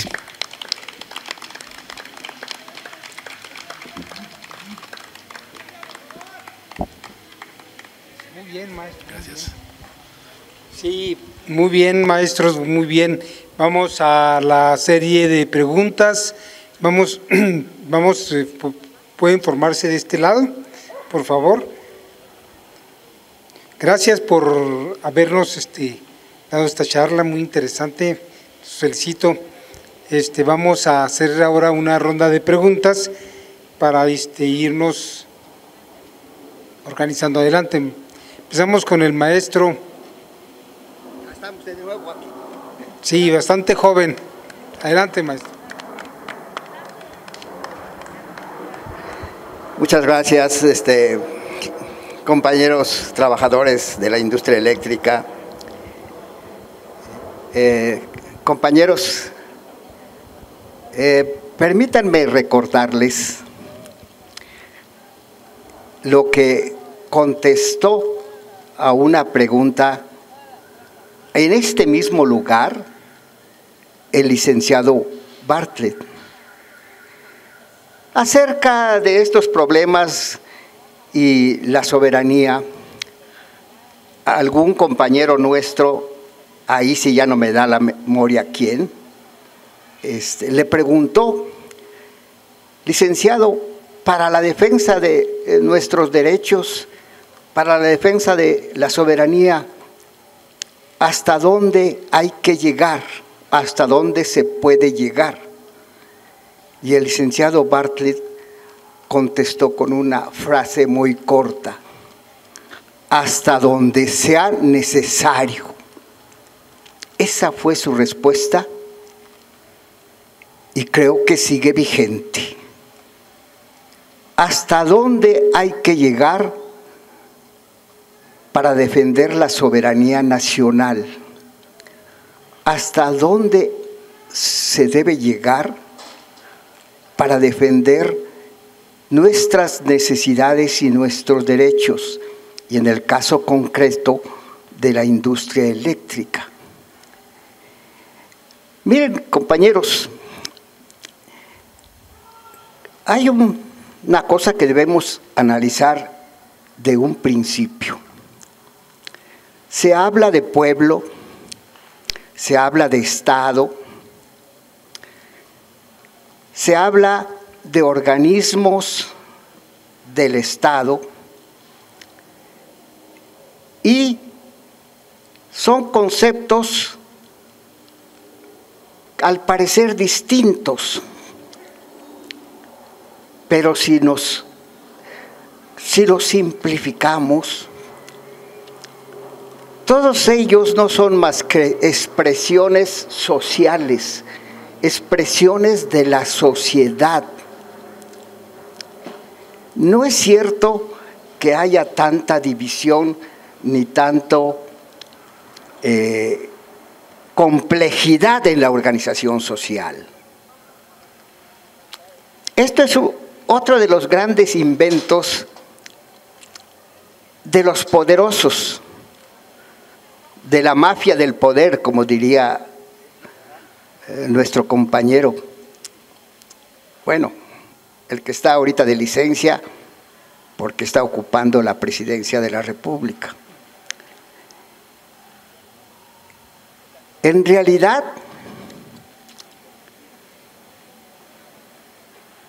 el problema es uno solo la organización social.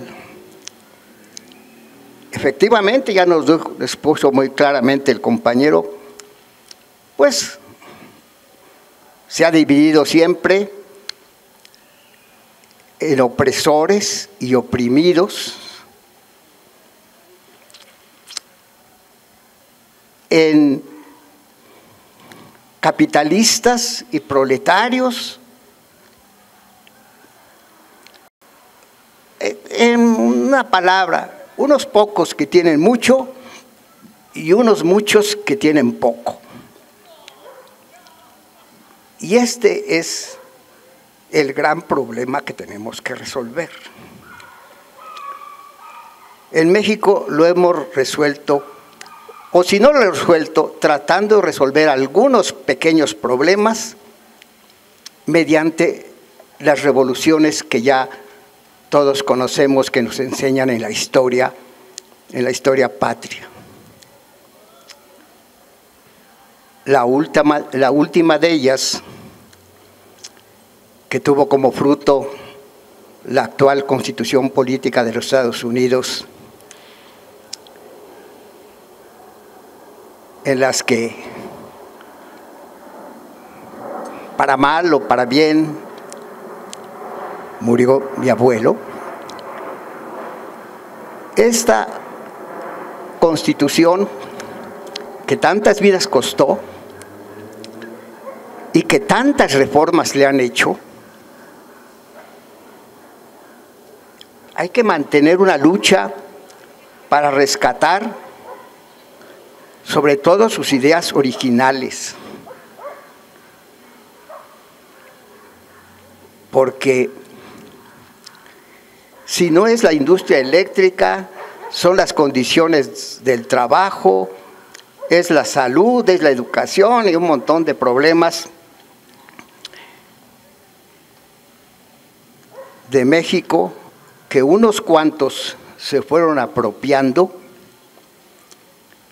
y pues nos tienen en la condición que estamos, a pesar de que se haya ganado la presidencia, pues la cosa no está como para cantar. Todavía hay infinidad de problemas. Entonces, esta, y aquí hay que aclarar, precisar, que efectivamente, como nos dijo el compañero, la electricidad es un problema social la que se da eh, por naturaleza, por los rayos y o lo que sea, pues, no es controlable. Pero si es producto social, eh, no es propiedad de unos cuantos. La ciencia, la industria, es un resultado de conocimientos de miles de personas a través de cientos de años. Es decir, el conocimiento científico para producir electricidad, pues es de todos. Y bajo ese principio debemos exigir que la electricidad y la salud y la educación y etcétera, etcétera, sean bienes de la sociedad. Producto social debe ser de eso, de todos de la sociedad. Entonces, creo que este es el pensamiento básico que debemos difundir efectivamente si salimos a la calle. Solo, solo me restaría hacerle a los compañeros expositores la pregunta que le hicieron al licenciado Bartlett. ¿Hasta dónde debemos llegar? ¿Qué podemos hacer para liberarnos un poquito de la opresión? Muchas gracias. Muy bien, muy bien, maestro. Primero las participaciones y al final. ¿Sí? Sí, buenos días. Yo soy José Luis Sánchez, eh, yo vivo en Valle de Chalco y pues eh, decidí venir hoy aquí a esta exposición. Les agradezco y les doy un gran reconocimiento a la exposición que dieron muy detallada, muy amplia sobre la soberanía, sobre la lucha de clases, sobre los cambios en las leyes, muy clara. Y yo se los agradezco porque digo, siendo tan pocos, pues ustedes hicieron una extensa y muy excelente exposición. No, gracias. Este, miren, yo estaba reflexionando, ¿qué implicaría que López Obrador de repente, como ha hecho tantos anuncios contra la corrupción, por las concesiones para la explotación de las cárceles, eh, contra la corrupción en general, contra, eh, pues ahora que está nacionalizando, bueno, perdón, está proponiendo esa ley de la industria eléctrica, ¿qué pasaría si también diera un golpe un poquito más fuerte de timón? ¿Hasta dónde seríamos capaces de participar? Que dijera, eh, ¿Saben qué? Vamos a nacionalizar los ferrocarriles, vamos a echar atrás ese Fobaproa porque fue un robo a la nación y habría mucho de dónde rascarle. Claro que las implicaciones serían internacionales porque los bancos están en manos extranjeras, la mayoría de ellos. ¿Y qué pasaría también si dijeran, vamos a nacionalizar la minería nuevamente, volver otra vez a los derechos de soberanía? perdón, volver otra vez a los derechos de soberanía que tenía el pueblo mexicano sobre sus recursos. Sí, esos recursos tan estratégicos que después poco a poco fueron cambiando de estratégicos a prioritarios y después de prioritarios los cambiaron a secundarios y después los hicieron simples para que cualquier inversor eh, privado pues se metiera mano en ellos. ¿Qué pasaría, pregunto yo? si es que eh, López Obrador diera ese, ese viraje de timón, hasta dónde participaríamos los que estamos aquí y hasta dónde participarían quienes a través de Morena quedaron ahorita en puestos y que en puestos públicos y que están desmovilizados. ¿Participarían o seguirían cuidando nada más su huesito para pues seguirse beneficiando de ellos? Es todo, compañero. Muy bien, adelante. Adelante, doctor, pase. No, ella no va a participar. bueno, gracias. Este, sobre todo me interesa agradecerles la presentación. La verdad es buena, esto es lo que necesitamos, es bastante importante la presencia de ustedes aquí.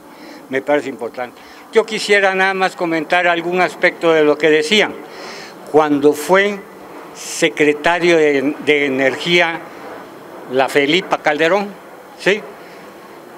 Vende el padrón electoral al imperialismo.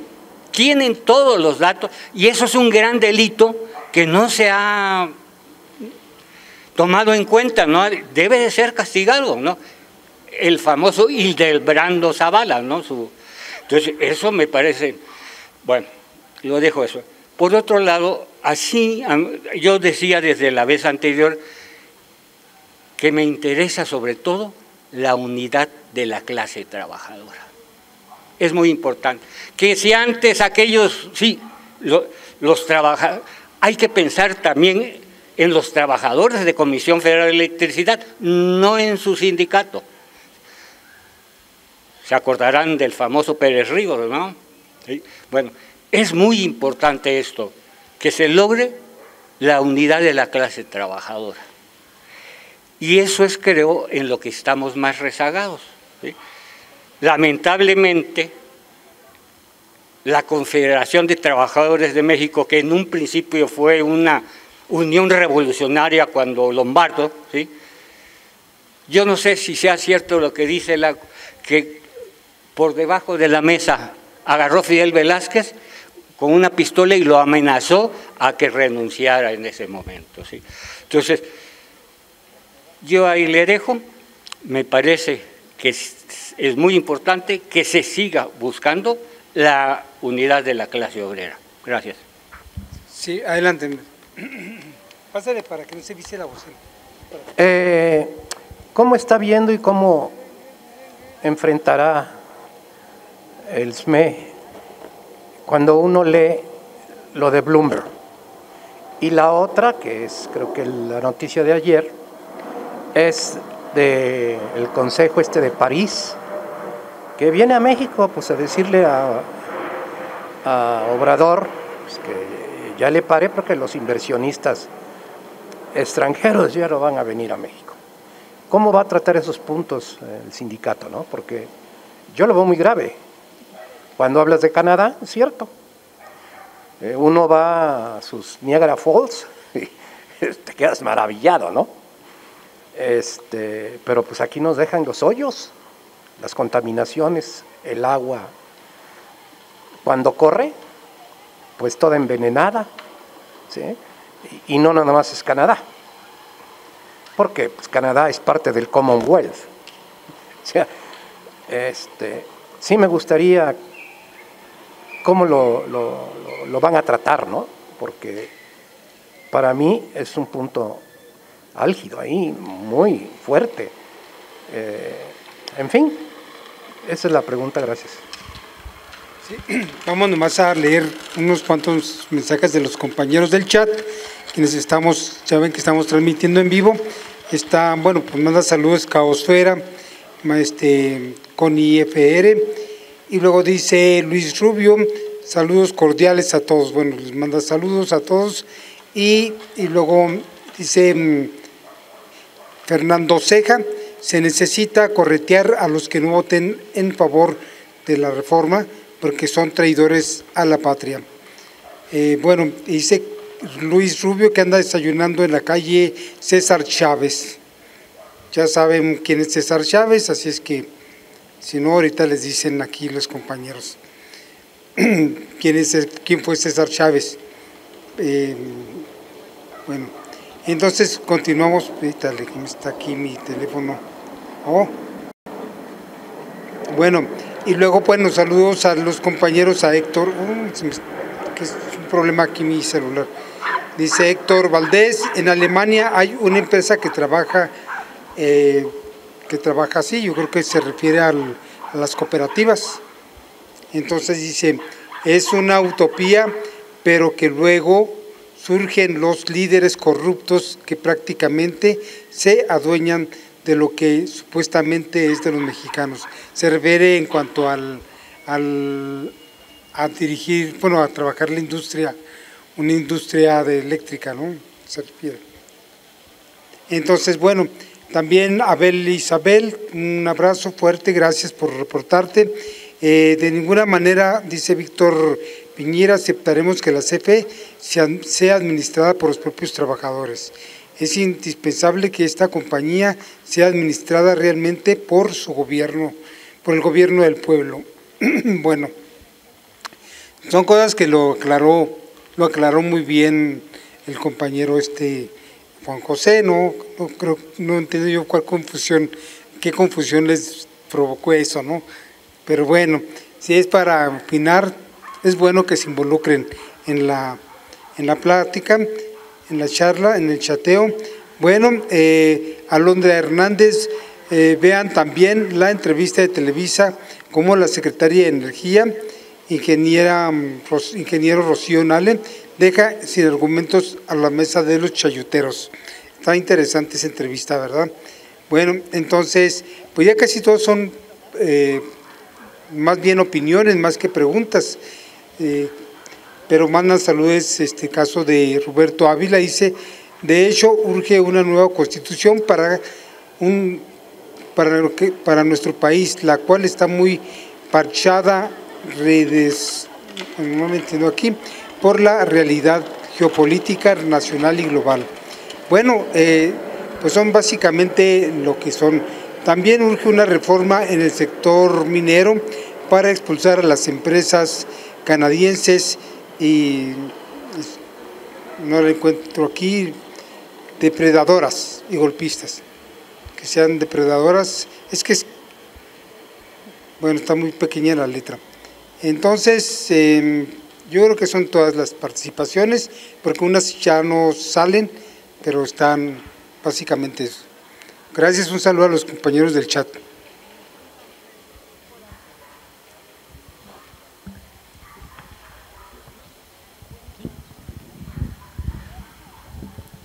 Sí, yo creo que las, las intervenciones yo creo que se interrelacionan a mi punto de vista o lo quiero interrelacionar yo.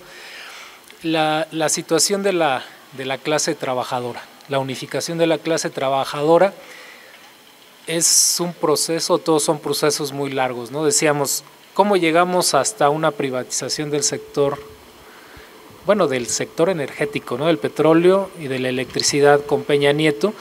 Pues lo que comentamos aquí no fue de la noche a la mañana, fue todo un proceso eh, de cómo también compran a los propios gobiernos, ¿no?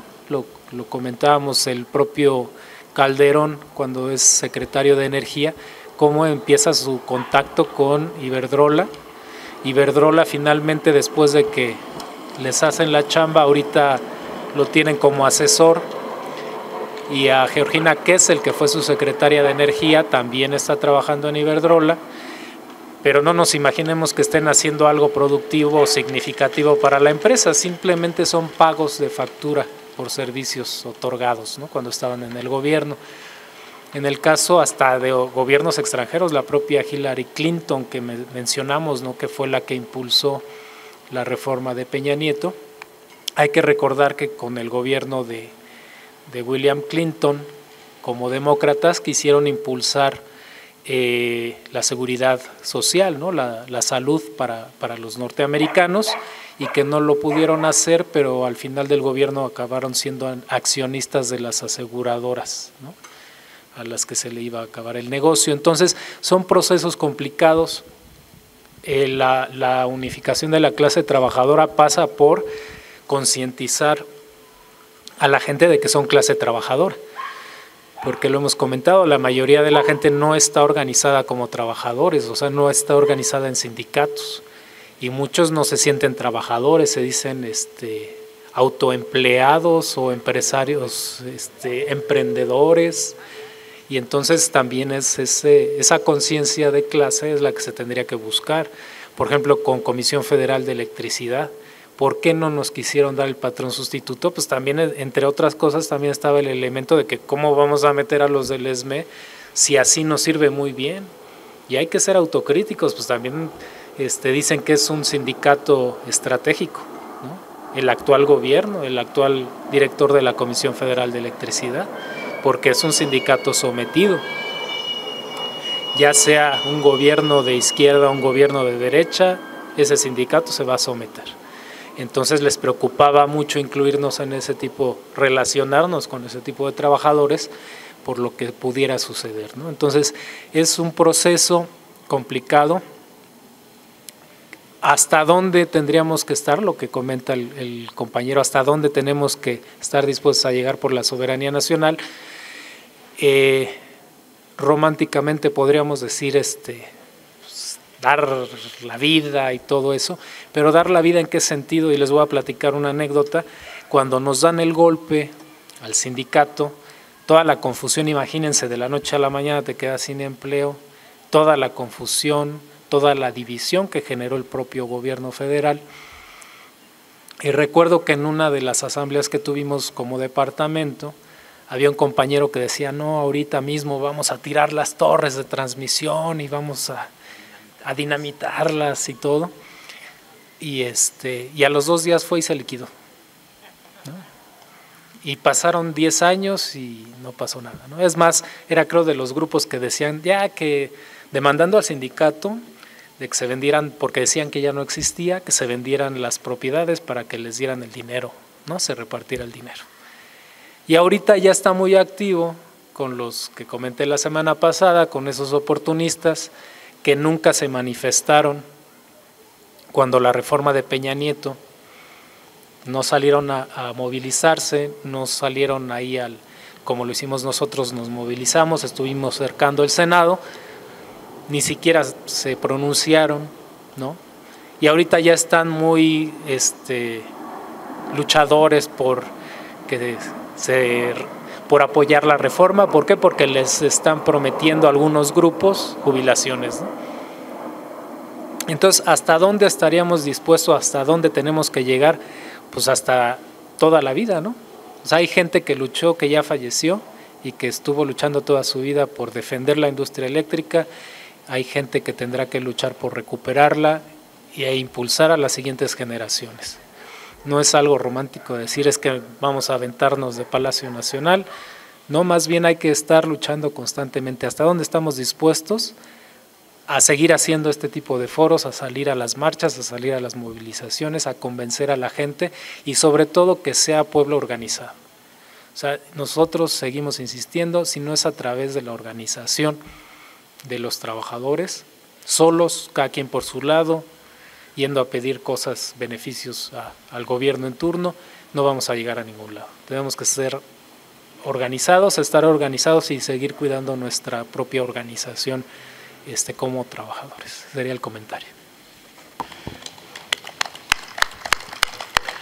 Eh, a mí me parece, me parece muy importante retomar eh, una parte de las dudas, de las preguntas, e incluso el tema de Comisión Federal de Electricidad. Yo incluso le propondría a Toño que más adelante, si hay la oportunidad, pudiéramos hacer el desarrollo de la historia de Comisión Federal y sus sindicatos, porque el SUTERM no es el primer sindicato que tiene la Comisión Federal, de hecho es el más reciente y es de la década de los 70 para acá. Pero antes hubo luchas, eh, incluso buscando la unificación de los sindicatos, el propio SME estuvo en esas pláticas con, con los electricistas de CFE para unificar sindicatos a nivel nacional. Entonces, el SUTERM es un caso muy especial que hay que tomarlo así con pincitas y como dice Mauricio, hay que ser muy autocríticos, porque efectivamente el SUTERM no es un sindicato que se movilice, el, el, SUTERM es un sindicato operativo para lo que necesita el Estado, está a las órdenes del Estado, como dice Mauricio, sea de derecha o sea de izquierda, por eso es estratégico porque no va a pelear, y ahí tiene que ver la lucha de clases, no va a pelear sus reivindicaciones de clase. ¿Quién, quién finalmente, veámoslo así, quién finalmente resolvió el problema de sus jubilaciones? Cuando les aumentaron la edad y la antigüedad para jubilarse a los trabajadores de CFE, el SUTERM no protestó, no salieron a las calles, no dijeron esta boca es mía, hasta que llega el presidente López Obrador y dice vamos a revolverles este, su antigüedad para que se puedan jubilar, etcétera, ¿Qué pelearon los del SUTERM? ¿Dónde estaban en ese mes de diciembre del 2013 cuando nosotros sí estábamos con Morena también afuera del Senado? pateando las vallas, con los maestros de la CENTE que lograron tirar las vallas y nos les vemos a los golpes a los federales. ¿Dónde estaba el SUTERM? ¿Dónde está el Suterma ahorita? ¿Cuándo lo han visto en las calles? ¿Cuándo han visto una mar? ¿Cuándo han visto un desplegado que no sea eh, del lambiscón de, este Fuentes del Villar? Señor presidente, estamos a sus órdenes. Ya nada más cambia qué presidente es. Entonces necesitamos tener muy claro eso, ¿no? O sea, efectivamente tenemos que buscar unidad de clase, pero también tenemos que ver que hay traidores a la clase. Entonces, bueno, eso, eso tendremos que, podemos discutirlo porque es muy interesante también la historia de la CFE. ¿Hasta dónde hay que llegar? Hasta donde sea necesario Yo digo que hasta donde nos lo permitan nuestras posibilidades, porque ya lo dijo también el presidente, a nadie se le puede obligar a hacer más de lo que puede. Y eso lo dijo respecto al tema de nosotros también, ¿no? Si yo les voy a resolver, pero hasta donde pueda. A nadie se le puede, y, y hizo la cita de Benito Juárez, a nadie se le puede exigir ir más allá de donde puede hacerlo. ¿Hasta dónde podemos llegar nosotros?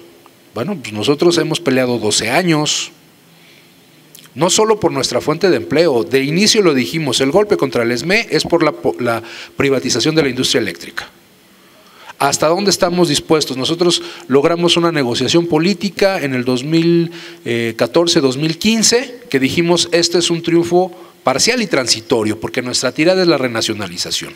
Y a lo mejor no la va a ver Martín Esparza, no la va a ver Humberto Montes de Oca, no la va a ver un servidor, no la va a ver mi hermano, pero nuestra función dentro del sindicato es dejar a la gente preparada para seguir la lucha el tiempo que se pueda. Nosotros podemos salir a las calles, nosotros podemos hacer esas evaluaciones críticas sobre el sistema eléctrico, nosotros podemos proponer iniciativas de ley como ya lo hicimos con nuestros compañeros de la NUE para cambiar ese entorno. ¿Hasta dónde puede llegar la CFE? Y ese es un detalle muy importante también. Recordemos que cuando nos dan el golpe a luz y fuerza se hablaba de la empresa de clase mundial que nos habían quitado a nosotros porque éramos ineficientes, éramos flojos, éramos improductivos, pero se quedaba una empresa de clase mundial, Comisión Federal de Electricidad. Y resulta que Comisión Federal de Electricidad trabajaba en muchas de sus partes con outsourcing, con trabajos tercerizados, con empresas externas que le hacían el trabajo a Comisión Federal de Electricidad.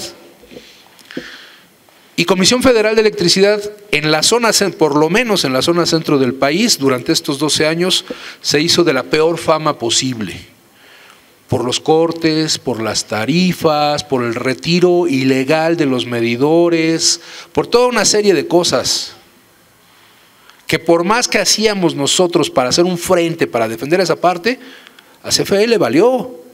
Y lo siguió haciendo en contra de los intereses de la nación en contra de quien, a quienes les debía ese servicio público de energía eléctrica. Y lo hicieron los trabajadores, tanto los de CFE como los subcontratados por CFE. Entonces, ¿hasta dónde vamos a llegar? Ah, bueno, también se lo tiene que preguntar CFE, porque hoy, hablamos del periodo de Peña Nieto, pero hoy la CFE sigue yendo a colonias populares a cortar la luz, sin importarles si hay personas que requieren la energía por cuestiones médicas, sin importarles que hay gente que no puede pagar la luz, porque todo este ramo de tarifas que se crearon desde el sexenio de Vicente Fox y se quitaron subsidios, etcétera, imposibilitan que la gente pague la luz. Y además esos cortes los hace hoy Comisión Federal de Electricidad con la Guardia Nacional. Y a abusados quien se quiera poner al tiro, ¿eh? porque se lo llevan. Se lo llevan. Entonces, ¿hasta dónde vamos a llegar? Hay que ser muy conscientes. Hasta donde sea necesario, sí. Pero también hay que ser autocríticos y hay que decir, bueno, pues hay que ser conscientes. Estoy dando un servicio para la, para la nación, para el pueblo, pues a quien me debo es al pueblo. Y al pueblo lo estoy golpeando. Y lo digo por Comisión Federal de Electricidad, porque esa es la experiencia que conocemos al día de hoy. Y entonces hay que ser responsables también con esa cuestión. Finalmente, eh, pues esta lucha por la unidad eh, nos va a dar elementos muy importantes como clase trabajadora y tenemos que estar al pendiente de cómo se van a mover todos estos, todas estas eh, eh, herramientas que ha creado el neoliberalismo, que ha creado el capitalismo, los propios medios de comunicación. Es una maravilla el poder ahorita estar transmitiendo en vivo a gente que está a lo mejor en otros lugares de la República, hasta del mundo puede ser, pero hay que tener mucho cuidado. Porque estos medios y todas estas construcciones siempre las va a usar el capital en nuestra contra. Digo, Mark Zuckerberg no es millonario por casualidad. Él ha creado y ha absorbido empresas de medios, eh, de redes sociales, con un interés económico, financiero y que cuida los intereses de aquellos que lo apoyan. Entonces tenemos que ser muy cuidadosos por lo que se viene, porque efectivamente viene una, una eh, embestida brutal no solamente por lo que tiene que ver con el sector eléctrico, no solamente con lo del litio, porque ya lo dijo Evo Morales este, después en una entrevista, por eso fue el golpe de Estado en Bolivia, por apropiarse del litio. Y, palabras de este Elon Musk, el de, el de Tesla, ¿no? Diciendo, no, pues hay que quitarlos de en medio y hay que quedarnos con el litio, con el litio boliviano. Y por eso le dijo Evo a nuestro presidente, tengan mucho cuidado con el litio por eso se dan los golpes de Estado. Y los golpes de Estado, digo, el de, el de Bolivia fue abiertamente un golpe de Estado militar, violento, auspiciado desde eh, los servicios de inteligencia de Estados Unidos, la Embajada de Estados Unidos. Bueno, servicio de inteligencia y Embajada de Estados Unidos es lo mismo, o sea, sirven exactamente para lo mismo.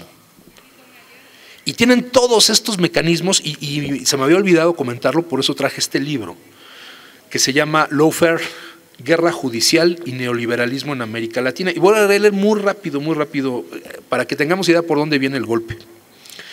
El lawfare o guerra jurídica puede ser definido como el uso indebido de herramientas jurídicas para la persecución política, la aplicación de la ley como un arma para destruir al adversario político por la vía judicial Considerando el escenario latinoamericano en la última década, donde se ha exacerbado la tensión entre gobiernos alternativas post-neoliberales y gobiernos alternativas de derecha neoliberal, este proceso de judicialización de la política ha tenido un fuerte impacto. Opera desde arriba, por medio de un aparato judicial que se eleva por encima del poder legislativo y del ejecutivo. ¿No les suena familiar? Ampliando el margen de maniobra y poder para los jueces en detrimento de la pérdida de equilibrio entre poderes. Así se allana el terreno para una juristocracia en ascenso que tiende a reemplazar y amputar las instancias representativas y deliberativas de la democracia, otorgando rol protagónico a los tribunales. En este marco se hace evidente el doble rasero de la ley, puesto que algunos casos se presentan como más escandalosos que otros, en virtud de la coyuntura e intereses políticos en pugna, alejándose de la imparcialidad y el apoliticismo con el que intenta asociarse la aplicación de la ley. Y este último párrafo. Esta selectividad de casos, que resulta fundamental en la guerra jurídica, requiere de una articulación con los medios de comunicación y redes sociales que operan manufacturando consenso en contra o a favor de determinadas personalidades, grupos o sectores políticos. La eliminación y desmoralización del adversario político se concreta especialmente en el plano de la opinión pública, en momentos políticos clave durante campañas electorales, por ejemplo. La desmoralización orientada a eliminarlos de la esfera política formal va desde el procesamiento judicial y el hinchamiento mediático hasta la cárcel y la ruina económica, pues se trata de procesos jurídicos extendidos en el tiempo de altos costes que deben cubrir los exfuncionarios. Esta es la nueva guerra ya no es tan necesaria la invasión territorial, ya no es necesario que desembarquen eh, los buques de guerra norteamericanos en Veracruz o, que vengan los marines este, y caigan en, paracaídas, ¿no? Los propios, eh, las propias estructuras jurídicas, que se han aprobado en los periodos neoliberales en América Latina son los que les abrieron la puerta a este tipo de cosas, a este tipo de fraudes, a este tipo de intervencionismo. Y por eso también decía Evo, y con eso termino, podemos ser progresistas, podemos ser ambientalistas, podemos ser humanistas, pero de nada sirve si no somos antiimperialistas. Hay que estar en contra del imperio. Eso es todo. Gracias.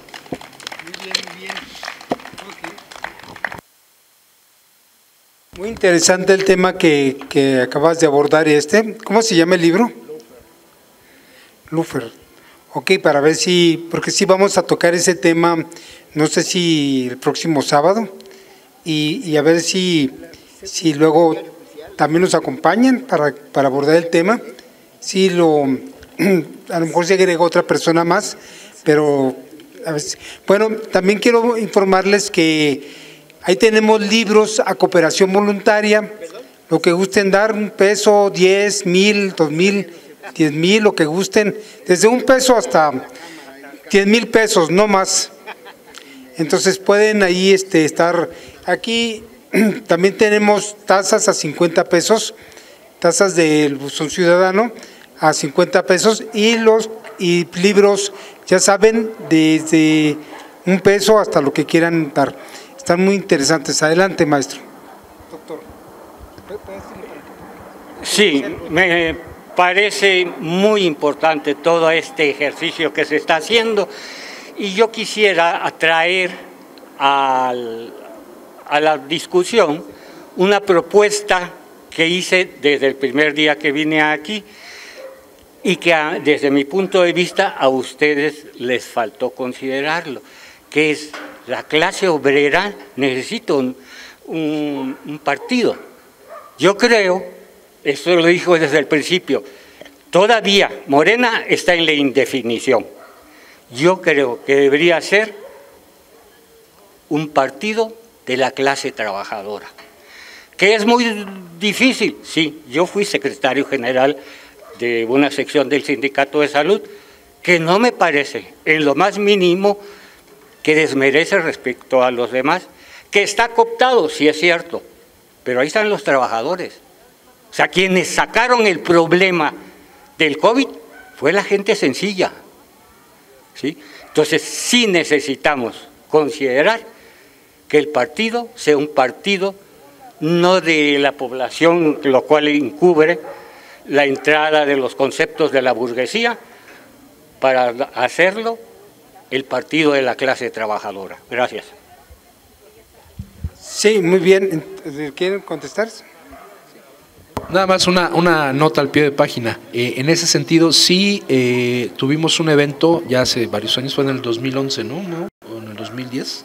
El 2010, en el Estadio Azteca, eh, un evento de la resistencia, y ahí llamamos a constituir una organización política de los trabajadores.